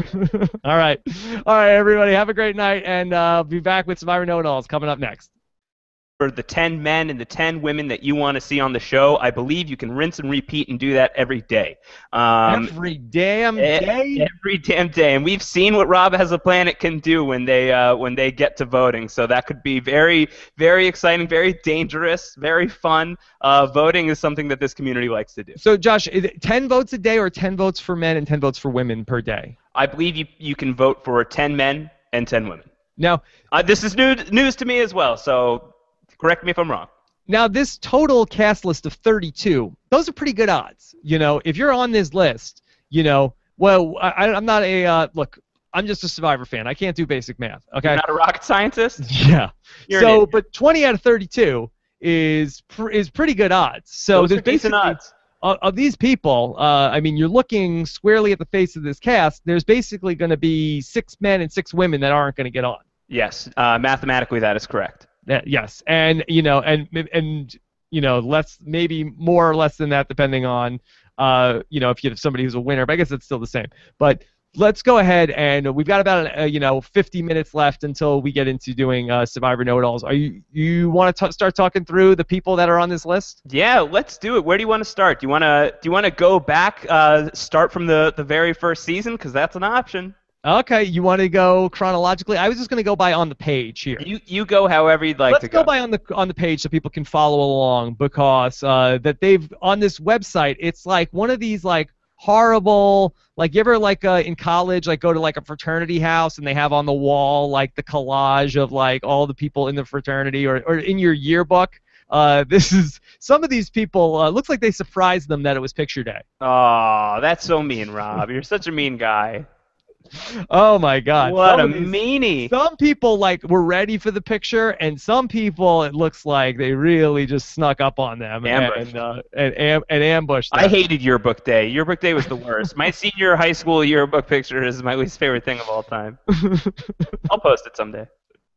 All right. So, uh, what do you? So, do you think that's a, that's a fair idea, just so people can follow along? Sure. So let's. Are we, are we starting uh, top left? Ciera Eastin. Yeah, let's start with Ciera with Ciera Eastin, Survivor Blood versus Water. That no no surprise to me that we see Ciera back in the mix for an All Star season. I feel like after Survivor Blood versus Water, Jeff was very quickly to you know famously had that moment about Ciera at the finale. Now that's how you play this game. Yeah. And we all said at the time that Ciera was going to be in the mix. Also a former RHAP Miss Survivor finalist back in 2014 as well. That's correct. Yeah. Um, Ciera is it's it's no shock to see Ciera in in the running here. Ciera's big move, voting out her own mother in the first Blood versus Water season, that was a hugely talked about moment. Her willingness to go to rocks with Hayden. Um, you know, she is she is somebody who's remembered. Uh, certainly in recent Survivor history, I think that her coming back at some point, most people expected that that was going to be at least on the table, um, if not a guarantee. So seeing Ciera here, I like Ciera's odds. Uh, I'm excited to see her back. I'd like to see what Ciera can do on her second time out. Now, when you say you like her odds, you like her odds to return, or you like her odds in the game? I like her odds to return, and I, I feel okay about her odds in the game as well, actually. Yeah. How much do you feel like the recency factor is going to play a part in which six or which ten men and which ten women get back onto the show? I think it plays a role. I, I, think it definitely does. I think that there's going to be some of these people who are from the earlier seasons of Survivor. They have um, a little bit of an uphill battle, in my opinion. I think just in terms of really shaking the Survivor community and the people who watch the show and reminding them, yeah, I was here. Remember Australia? Remember these seasons? Um, you know, people that I would really love to see back on the show, but I wonder how many people remember those things. But um, you know, at the same time, seasons like Borneo in Australia were watched by a huge amount of people. Uh, are are those people going to be showing up to support some of these older school players? I think that that could be a factor. But um, the the recency bias, uh, I expect we'll we'll see some of that for sure. Some of these people who played in the past two or three seasons, I think stand maybe they, they come into this with a little bit of an advantage that some of the people from the older seasons do not have. For me, I wonder how much the people that have stayed with Survivor all the way through, though, are going to be. You know, it's like, uh, you know, make you know make new survivors but keep the old uh, one is silver the other is gold like Yeah. somebody like do you have some sort of a fondness for like a or like some nostalgia for some of these older players that you don't necessarily have for players that played within the last you know year 18 months Oh yeah, I mean, looking at some of these players, like um, there there are people. You know, I never ever, with all due respect to Kimmy Kappenberg, never expected to have the opportunity to see Kimmy Kappenberg back on Survivor. So just the opportunity to see Kimmy come back, of course, I'll throw a vote Kimmy's way. You know, there's there's and, and the thing about it is like the the ability to vote. Like you could vote for all of these people over the course of the next two weeks. You know, there's there's a wealth of people that you can vote from. Just looking at this list, I know you say you like their odds, but there's you know uh, six six men, six women aren't going to make the cut, and it's it's tough just looking at trying to figure out my tens. Um, it's difficult, very hard. Yeah. very very fun i'm really looking forward to this and i'm really looking forward to talking through all of this uh, with you here uh, tonight josh that a lot of people know that uh, we touched on at the beginning of the show that we've done the evolution of strategy you and i people have heard us talk about the first 10 seasons we are just about putting the finishing touches on evolution of strategy volume 2 we have josh and i have watched together all of the first 10 seasons and now all the way through survivor heroes versus villains so a lot of these people from the uh, with you know not so recent seasons are very fresh in our minds because we've watched all of this uh, within the last few months. Yeah, um, it's it's pretty pretty exciting to see you know a Shane Powers on there for me. For for example, I mean we had a really good time talking about Survivor Exile Island Panama. Uh, you know we we talked about Tocantins not long Yeah. ago. Obviously you talk with Fishbach every week. Um, you know there's it's it's good. It's good stuff. It puts a smile on my face. All right, so that's Ciera. Let's keep moving. We got uh, still 31 more people to uh, touch on here tonight. Here's Cass, and really uh, no surprise to see Cass in the mix for a returning player. What do you think about the prospects? And again, I don't want to turn it into uh, will they get on, won't they get on, but what about Cass being back here? Um, Cass being back is another shoe in for me in terms of this is somebody who was going to be in the conversation at some point down the line. Um, the moves that, that Cass made, while a lot of people don't think were necessarily the right game moves, were explosive, were hugely entertaining. Um, Cass is as responsible for Survivor Cagayan being one of the best seasons in recent memory as anybody. Uh, I stand by that really firmly. You know, I love Tony, I love Spencer, I love all these people who made that season such a magical season. But Cass, you take her out of the mix, and that season is nowhere near as awesome as it is. Um, so seeing Cass back in the running for Survivor, um, seeing what she might be able to cook up in another season, especially playing with All Stars, is very exciting. Uh, and I wonder what she's learned if she gets to go back. I wonder, um, you know, she. I, I got the chance to, to interview Cass on the red carpet after the Cagayan finale, and she was the first to admit that her social game needs some work. Um, Rob, you famously talk about the social game is the hardest thing to master in Survivor, and Mhm. potentially um, potentially impossible to learn fully. Um, so I wonder how, how Cass is compensating for this. Uh, if she gets back out there, uh, I wonder how much that's on her mind. Um, just more than anything, though, just the prospect of some more chaos Cass uh, is is really cool. Really cool right now. I'd be extremely interested to see what a uh, Chaos Cass 2.0 looks like. I think that would be uh, very, very fun. And whether or not it is an effective uh, game for her the second time around, you know it's going to be good TV. So Yeah, absolutely. be very, very, be very excited to see Cass back. All right, Monica Padilla, Josh, and this is one of the more intriguing names on this list to me because uh, she's somebody that you and I just recently looked at on Survivor Samoa, and she's somebody who was kind of a non-entity early on in the game in Survivor Samoa, but towards the end of her game. She really did start to come into her own and mix it up with the one and only Russell Hantz. Yeah, it's it's funny because I, I think that Monica Padilla, just looking at the names of this list, Monica is one of the ones that I think some people are going to scratch their head and say, what? There was another Monica in Survivor history, not named Culpepper. Mm-hmm. Um, Monica Padilla. It's it's easy to forget a lot of people from Survivor Samoa, frankly, because of the Russell edit being so huge and Russell Hantz just being the greatest survivor of all time. Uh, but Monica is one of the few Galu that truly stands up to Russell in in uh, her final days in the game. She really gets under his skin in a very big way. Um, like you said, Rob, you know she kind of comes out of her skin you know, right towards the end of her time in the season. But what we see there is very interesting. Um, I think that in All Star seasons, the people who you don't remember very well can do pretty well. Um, Monica Padilla, you know, we could talk about her chance. Uh, wow, I don't know. that, I don't know. people's hats, their socks. Keep your clothes on, everybody. I don't know. Stephanie Valencia. That's uh, wa- certainly one of the more. Uh, if you would have like tried to guess this, not knowing anything, I, I don't know how many people would have had uh, Stephanie Valencia on their card. Uh, I don't disagree. Yes.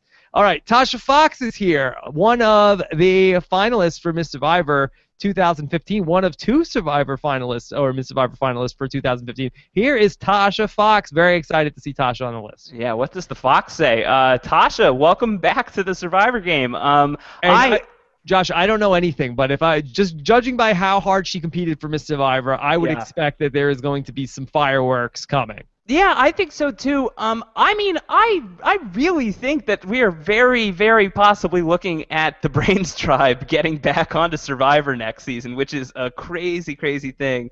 Um, Tasha's great. Tasha, you know, Tasha was a was an immunity beast. She was she was winning challenges. She, I think her streak was what three immunity challenges. I think is is how how far she got with that. Um, really impressive in these challenges. Really, really smart player. Um, she uh, you know she was very very firm-handed in those early days of the brains tribe really really kind of running the show i think. Um, she as you said she uh, she campaigned very hard for miss survivor. Uh, we did i don't remember how long ago we did this. This is almost a year ago at this point i feel like we did um, a mock draft of, of underrated survivor players Yeah, last that? summer. That was last summer, and I, I picked Tasha fairly early, and I felt I felt really good about what Tasha Fox could do if she went back to Survivor, if she got another shot uh, at playing the game. Because I, I feel like Tasha might be somebody who's underrated by a lot of people who who people aren't thinking about as much because you know the story that season was a lot more Spencer versus Tony or Cass versus Tony, and I think Tasha maybe gets a little bit lost in the shuffle there. Uh, Tasha's really, really strong, and the last thing you want to do is underestimate her. I think if Tasha gets back on, um, you know, looking looking at this list, Tasha would be on my list of people who could really, really win this season, who could win another season of Survivor pretty Okay. easily. All right, uh, we gotta just keep moving on this show tonight. Uh, here is Teresa T-Bird Cooper. Ah, good enough to slap your mama. Yes. Wow, Josh, here she is. It was me. Yes, it was me. She's back on the she's back on the list and very excited to see one of the classic Survivor players. One of the few people on this list. I think the uh, one of the three people on this I'm sorry, four people on this list that played Survivor before before it was me. Before it was you. It turned out to me turned out to me nice. yes, very nice. Turned out to me season. Yeah, what what can you say about T-Bird being on other than yes, this is so cool.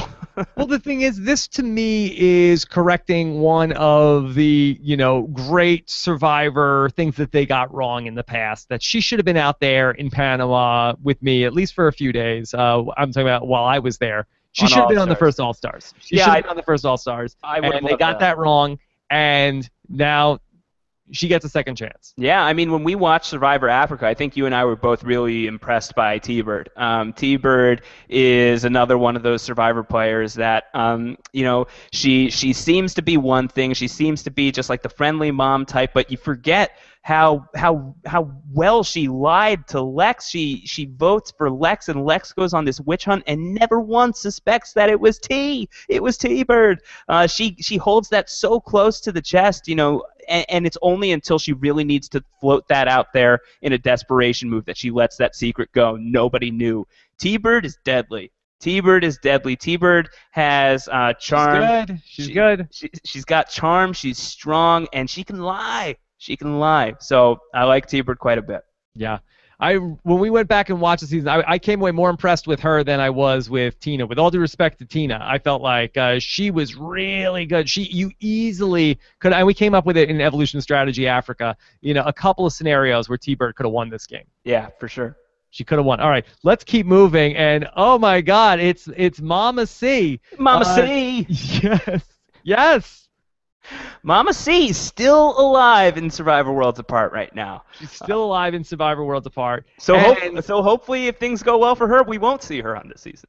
And uh, nice edit from Mama C tonight. For the first time, uh, I feel like she really emerged from Tyler's shadow tonight on the on the show. I felt like uh, Mama C really got the uh, the Survivor uh, second chances edit tonight. Yeah, I mean, I loved Mama C in her first episode. I thought that she she looked really good, getting that idol, no problem. Then in the second episode, I think it was second or third, where she's just casually watching as everybody's frantically running around looking for that idol that she knows she has, cool as a cucumber. Um, Carolyn, I, I I like Carolyn. Carolyn has been really quiet in the edit this season of Worlds Apart. You know, it's really been it, it was the Mike and Shirin show for a while. Now it's the Mike show. Um, Coming but out it- party tonight. but, but tonight was was definitely a coming out party. This is her second immunity win in a row. Um, she is um, going into the final six with the only hidden immunity idol still in the game. So it, you would, unless disaster strikes, you imagine that she's still going to be active going into the finale in two weeks.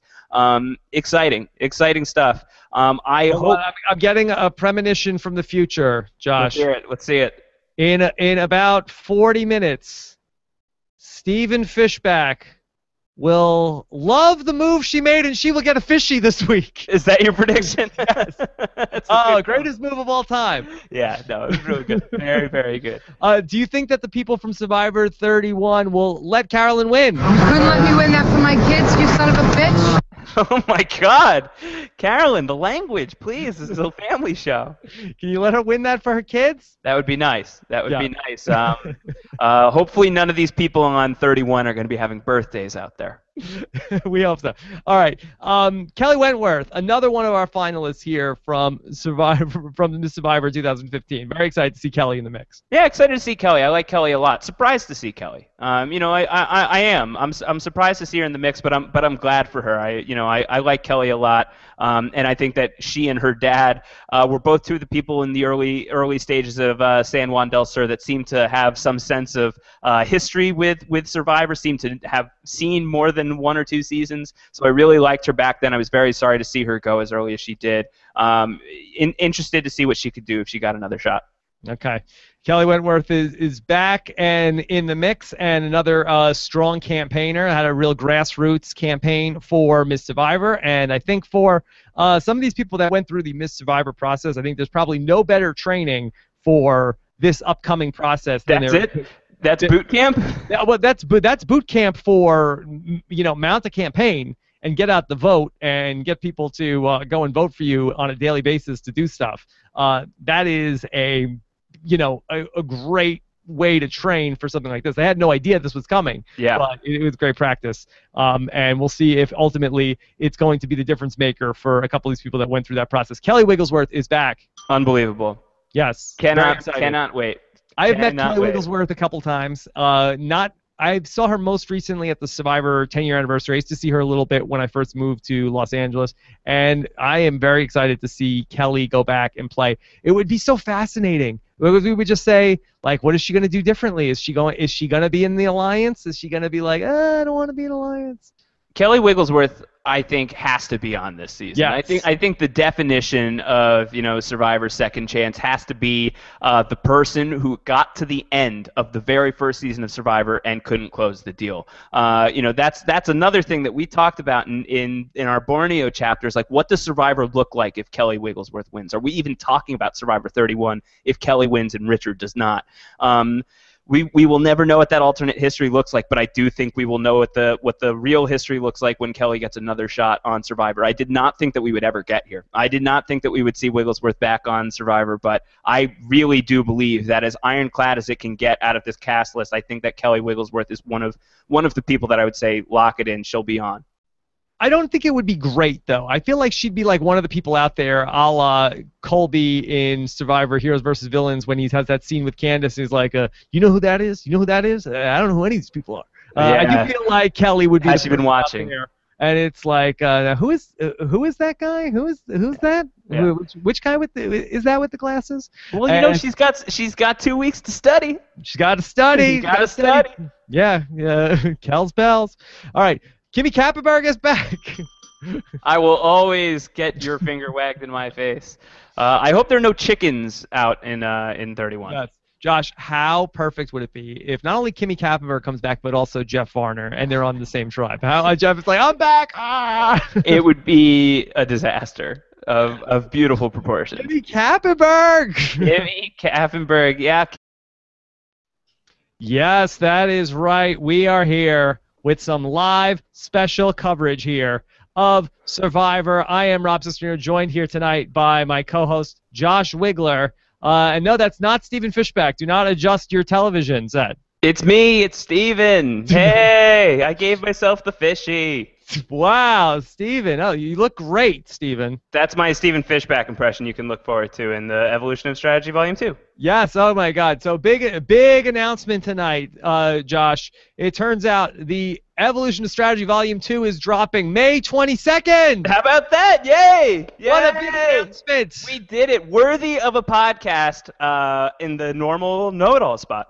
Josh, what can people look forward to uh, in Volume 2 of Evolution of Strategy covering seasons Guatemala through uh, Survivor Heroes versus Villains? Oh my gosh, they can look forward to so much. They can look forward to all the coverage of all the various Survivor Cook Island seasons. they can look forward to um, they can look forward to, to Judd and his crocodiles. Hold and- on, Josh. I'm just messing around. I'm just not, not we, we didn't come on to talk about Evolution of Strategy Volume 2. What do you mean? That's what you told me earlier today. No, no, you no. You said that we were just going to do a big uh, Uh, Evolution was- Strategy commercial. No, that was just to get you here. I, we're here to talk about second chances, and Okay. people have been waiting for this for a long time. And finally, second chances are here.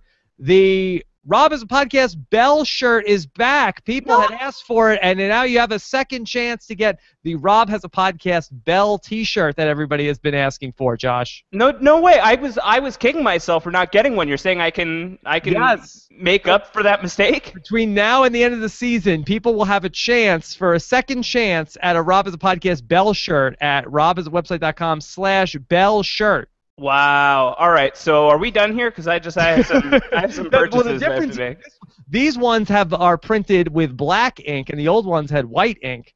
No, uh, okay. In all seriousness, let's get let's get down to it. Uh, the biggest night in uh, maybe the the history of Survivor podcasting is here because we are going to be talking about Survivor Second Chances, uh, which the announcement just came out tonight about the what is this? 32 people vying to become the 20 new castaways of the upcoming season of Survivor, Survivor Second Chances, which includes uh, my Survivor Know-It-Alls co-host Stephen Fishbach, who you will see right here in about an hour when we recap tonight's episode of Survivor. So we're not going to talk about anything from Survivor. Uh, what what's the word here? Are we going to talk spoilers from tonight's episode of Survivor? Do you think there's anybody that's watching this that didn't watch Survivor, Josh? No, I, th- I think tonight should be fair game. I Okay, think we're uh, gonna- tonight's we're gonna- episode should be fair game. we're going to talk about tonight's episode 12 of Survivor 30 included here tonight. So, and then after this, we're going to do this for an hour, and then Stephen Fishbach will join us live or join me live for Survivor Know-It-Alls, and uh, we will talk again with Josh Wigler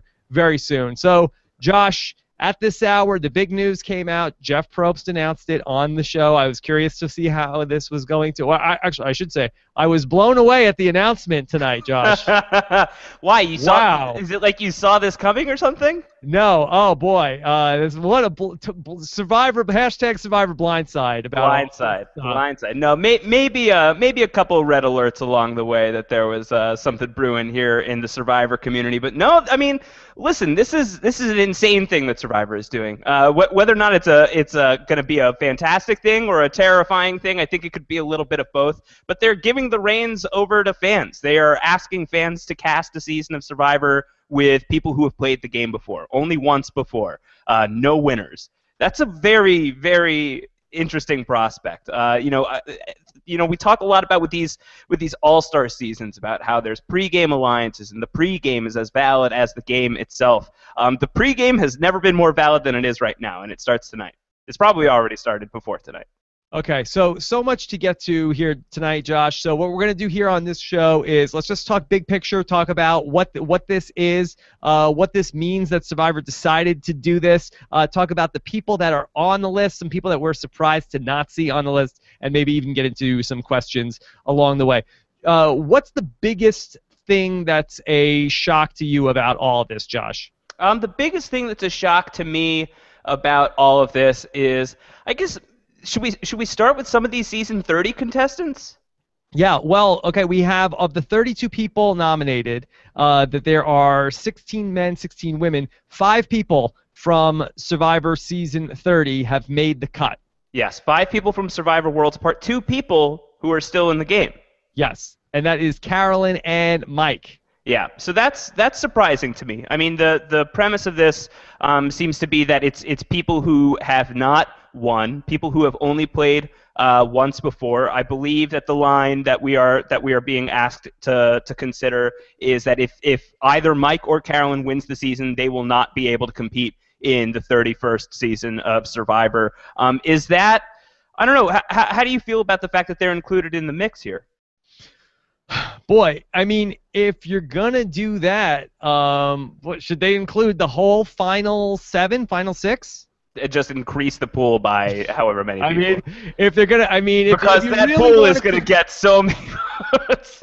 Yeah, that's true. That's that's fair. Uh, I do find myself though wrapping my head around. Okay, oh, does this mean that Carolyn is going to win? Does this mean that Mike is going to win? Does this mean neither of them is going to win? You Yeah. know, I, I feel like there's not anything that. Yeah, I don't have an issue with it because I feel like I can't. Like I've been trying to uh, wrap my mind around this for the last ten minutes. Uh, since we found out about this uh, cast announcement, Josh. Uh, Yes. and since then, I, I haven't been able to say one way or another, oh, this must mean that Mike wins, this must mean Carolyn wins, this must mean neither of them win.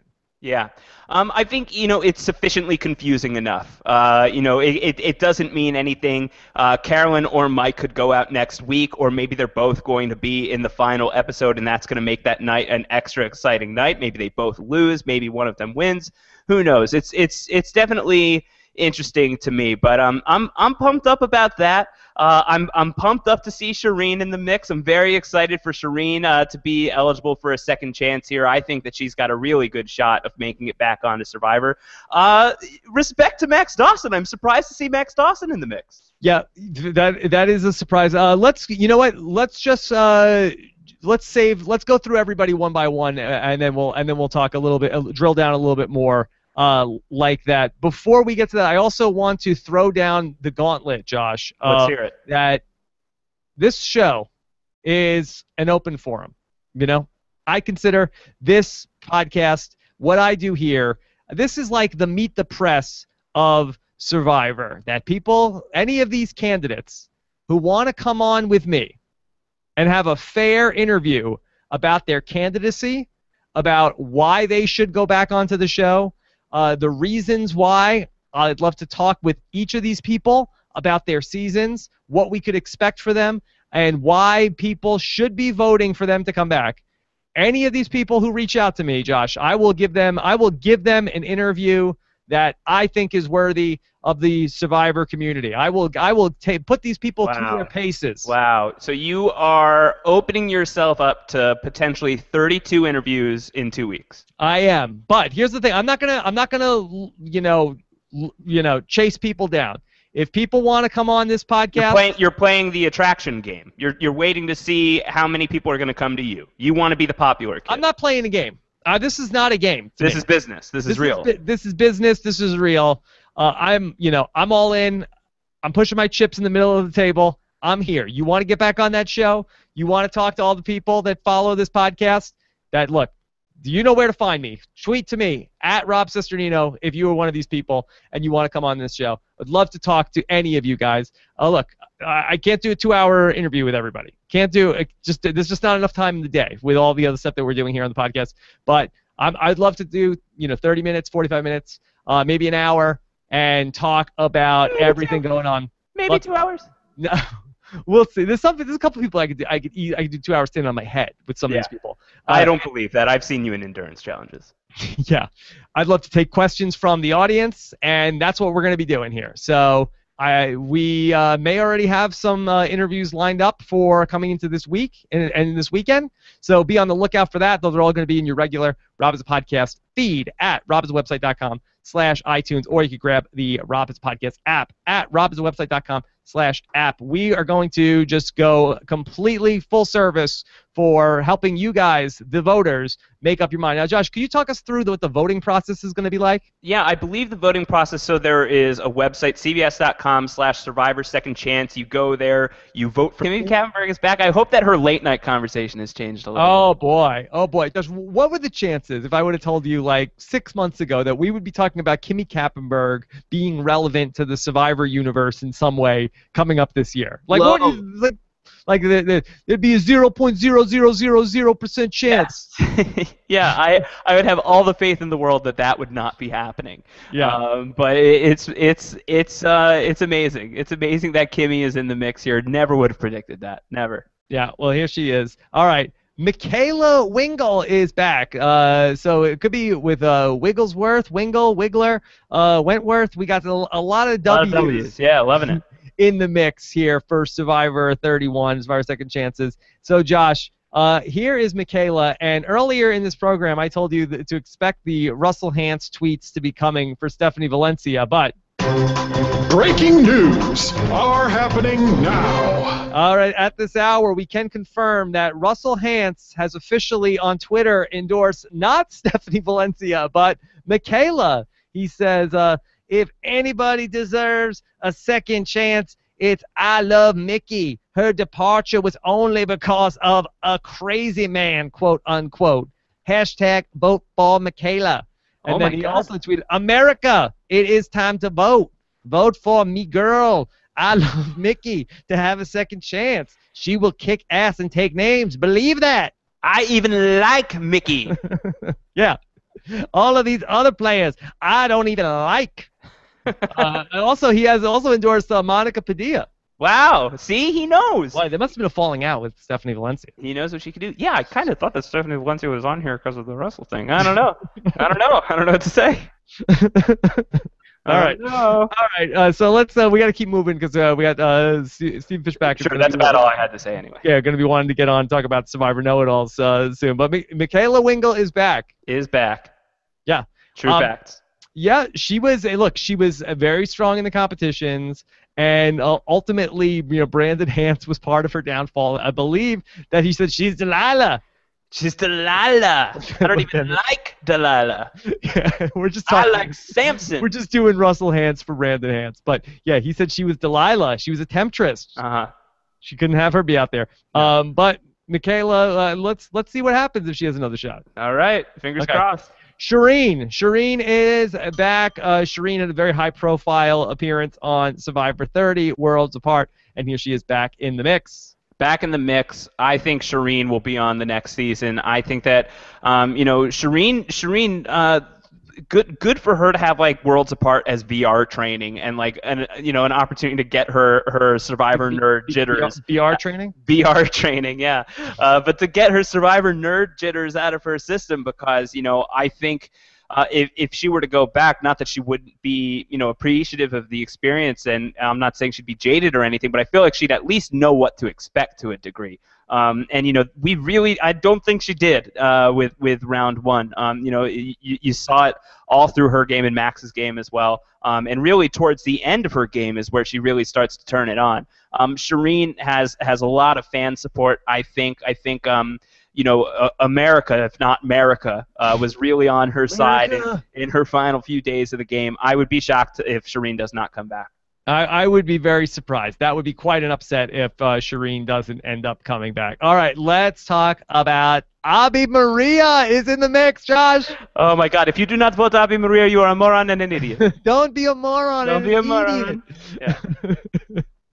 Don't be like Skupin. or RC. Yeah. Oh, and RC not in the mix on the snub list. No RC. Um, you know, if, I think it was going to be Abi-Maria or RC. Yeah. I, think- I, I don't think they were both going to do this together. I don't they think they were even going to be in like the same possible uh, op- opportunity to be on Survivor together. No. Okay. All right. Yeah, we we are robbed of seeing that, unfortunately. But uh, the Survivor producers chose not to go that way, and so let's go. Or Abi-Maria is going to be the uh, lone Philippines uh, representative. The lone Philippines representative. That's Okay. that's a that's a surprise to me. Yeah. All right. So here's Abi-Maria, and uh, what do you think about Abi-Maria oh? 2.0? Um, I don't know that Abby Maria is ever.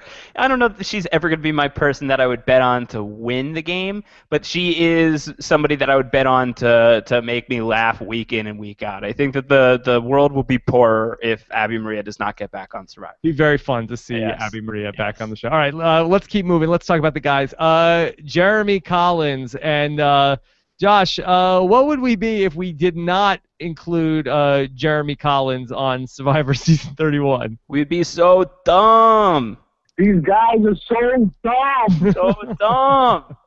Yeah. Oh, very excited to see uh, Jeremy make the cut here. Yeah, I mean Jeremy, the the heir apparent to San Juan del Sur at one point. He was the guy who was supposed to win, right? Former uh, Mr. Survivor finalist 2015 as well. Yep. So he has uh, again uh, didn't run a spotless campaign. He probably uh, could probably could have that could have been his VR training. That could have been. Yeah. But here he is. He's back in the mix. Uh, very excited to see if he can surround and drown the competition. Yeah. Oh man, Jer- Jeremy being back on would be a good thing. That'd yeah. be good. He's a funny guy. I, I, he's a funny guy. He knows the game. Well dressed. Yes. Uh, handsome man. Great at the finale. All right, let's talk about a uh, recent guest on the podcast. Uh, Jim Rice is back, and this time, will anybody be able to uh, screw him over? you screwed me over. Voters, don't screw me over. you took me out of the running. Yeah. Okay. All right, Jim Rice is back, Josh. Yeah, Jim Rice. Jim Rice is somebody who Turned I've out to be Rice. turned out to be Rice. I um I wrote a blog for for uh, robhasawebsite.com a few years ago, uh, talking about some of the people that I, I would have liked to see return to Survivor, and Jim Rice was on that list. I think it was during Hantzageddon, and I was trying to think of if Hantz if this is the way it was going to go, who could have come in and, and taken that spot, and Jim Rice was one of the people that I that I had floated out there, uh, and I hold to that. I think that Jim Rice he's got some he's got some game. Um, you know, he he's good in challenges. He he's good strategically. He's got a good social game. Um, I don't know how he's going to do in the vote here. Um, you know, I think there's just so many people to choose from. I just Yeah. I, I worry about Jim Rice getting a little lost in the shuffle. I I feel like for a lot of the people in the early 20s of Survivor, it's sort of a tough spot where it's like, you know, the pre 20 people have nostalgia on their side. Yeah. Like the people in the last couple of years have recency bias, but I feel like there's a little bit of like a, you know, 21 through 27. That's sort of like a little bit of a gray area where you're not gone long enough that we really like, uh, like, oh, remember, you know, remember this person from, you know, Survivor, you know, China, Survivor, Survivor, uh, you know, you know, uh, I'm just throwing seasons out there. You know, Cook Islands. and, Right. you know, oh, that person's great. And then and then it's not like, oh man, this person has to get back that they were just on, and I really remember them. I feel like that's that's a little bit like a no man's land. I feel like. Yeah, I think I think that people like Jim, I think they've got a really tough hill to climb uh, on on this vote. Um, if if he makes it, if he makes to the top, I'm I'm happy for him, and I and I think that he's you know he he's somebody that could do well on Survivor again. It's just this is this is going to be the hardest part in a lot of ways. It's just even getting on. All right, what about one of your boys, Yes, Josh? Nail mail, nail mail, the nail mail. Will will people stick to the plan and vote Keith in? I hope so. Oh man, I want to see my nail mail back on Survivor like you don't even believe. Uh, I, I love Keith Nale. As long as you keep burping, I guess you're okay. All right, as long as you keep burping, you'll be okay. I'm I was surprised to see Keith Nale on the on make the cut. Uh, well, be prepared to be surprised when Keith Nale is on Survivor in a few weeks. I think that he's getting on. Okay. I, he's, how could you not love Keith Nale? How could you not love Keith How Nail? could you not? You don't have. not? You don't have to- Shane Powers, Josh. Shane Powers is in the mix. Moving right along. Um, yes. Oh boy, how exciting is this? Shane Powers, for the first time in uh in almost ten years, is back in the mix for Survivor. Yeah. Uh, if we don't get Shane Powers on Survivor, we did this wrong. Straight up. If we don't get Shane Powers back on Josh, Survivor, we Shane did this Powers might be on Survivor. yeah. We would we would we would be doing this wrong if we can't get Shane back. He could be on Survivor. Oh my God. Oh my God. Yeah. Uh, what what will Shane Powers do to the voters if they don't vote him back on? I don't know. if you don't vote me back on, I'm just gonna come to your house and I'm gonna kill you. I'm going to destroy your shitty apartment. I, you said uh, you will. What what is the word? What's the word he always uses? Uh, that uh, I'm gonna come over there and I'm gonna clip you. Yeah, clip. That's his verb. That's what he always. Uh, of getting back onto Survivor, but I think if she were to get back onto Survivor, could be a really stealthily dangerous person out there on the beach. Yeah. And there's going to be all of these like little connections that we can see if we connect the dots. But one of the more interesting things to me is Monica Padilla was so close with Laura Morett in Samoa, and of course Laura Morett's not in the mix here, but her daughter. Her daughter is sure. And I wonder if that, that could be that could be something uh, there between a Laura, uh, I'm sorry, a Monica and Ciera thing. So there's going to be all these things where it's like, well, this person didn't play with this person, but they're, you know, this person is like lives near this person, and this person has become very friendly with this person who knows this person. So it'll be so much fun to sort of track, you know, who knows who and and try to figure this season out. Let's keep going with Natalie Tenerelli. Nat 10 is back, and Nat 10, uh, she was another person who was a non-entity for the most part during uh, the time that she played. However, she did learn Survivor at the knee of one Boston Rob Mariano. They maintained a friendship uh, after all of this time. You wonder, Natalie Tenerelli, maybe a couple years older, after watching, I, again, who knows how much Survivor she saw before she played that season, but after watching it, could she come back with a better understanding of the game and be somebody who's a factor? Yeah, um, you know she's she's a finalist. Uh, she played the game with Boston Rob very very closely, maybe maybe too closely for her own good uh, during during Redemption Island. Um, but you know it, it, obviously it worked out for her. She got she got runner up, but she is you know years older, hopefully years wider at wiser at this point. Hopefully not wider. Uh, and and she's um you know we've seen that kind of effect. I mean Andrea doesn't place better in her second season of Survivor, but she plays with a lot of gusto. She plays really gutsy. Mm-hmm. Phillip doesn't do better than he than he did in his first time out, but he I think plays a better game.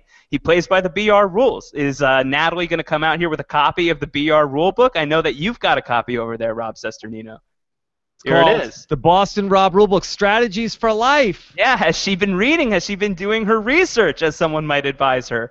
Um, that if, would be that would be. If you good... ever get a second chance in life, make sure to go back and watch all of my tapes and watch everything that I do. Watch the tapes. Then listen, listen to the Ghost of Boston Rob. Yeah, don't be like Phillip though. Okay. Uh, but yeah, Natalie Tenerelli. I believe also Natalie was she the youngest uh, woman that ever at the uh, at, at the time, if not if not still holding that record. I don't know offhand, but at the time, yeah.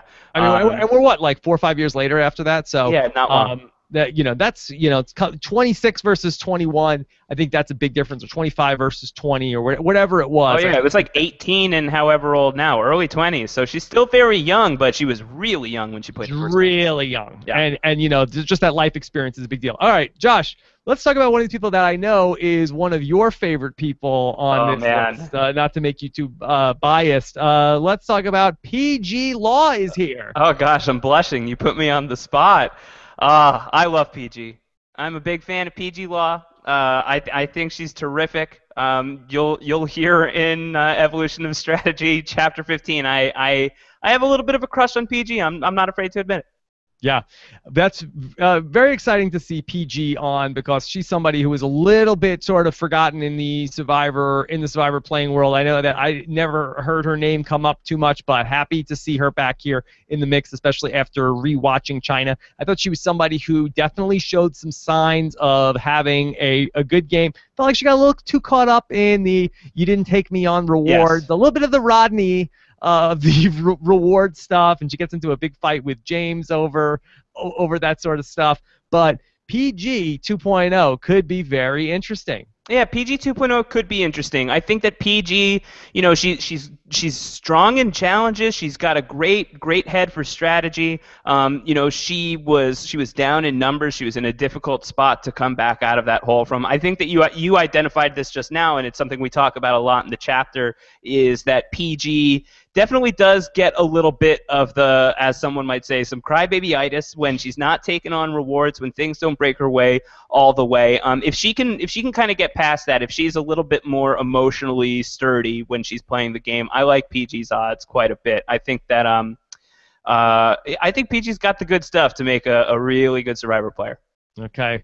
Sabrina Thompson is also on the list. I believe that she was the third third place finisher behind Kim in Survivor. I'm not sure. Second place. Second she was place. second. She was Yeah. second. Okay, uh, behind Kim. And again, just about anybody that's going to play with Kim is going to be seen as sort of an afterthought in a season that's dominated by Kim, especially somebody that's in her own alliance that is uh, voting along the same lines as Kim. But what do you think about Sabrina being back in the mix here?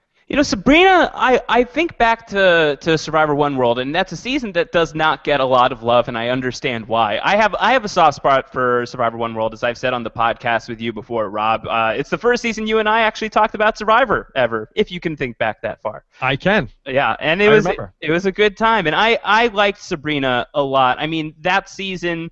It's it's tough, you know. Kim walked all over that season, um, and she had a she had a straight line to the finish. She was really, really, really good. I still think Kim, um, if not my favorite winner, is is very close to the top. Um, I like to think in, in my mind that I haven't watched One World too too recently. Um, but when I think about Sabrina, I think about a player who's underrated. I think about a player that has a good head on her shoulders, uh, a smart player, a funny person out there, uh, somebody that people really like.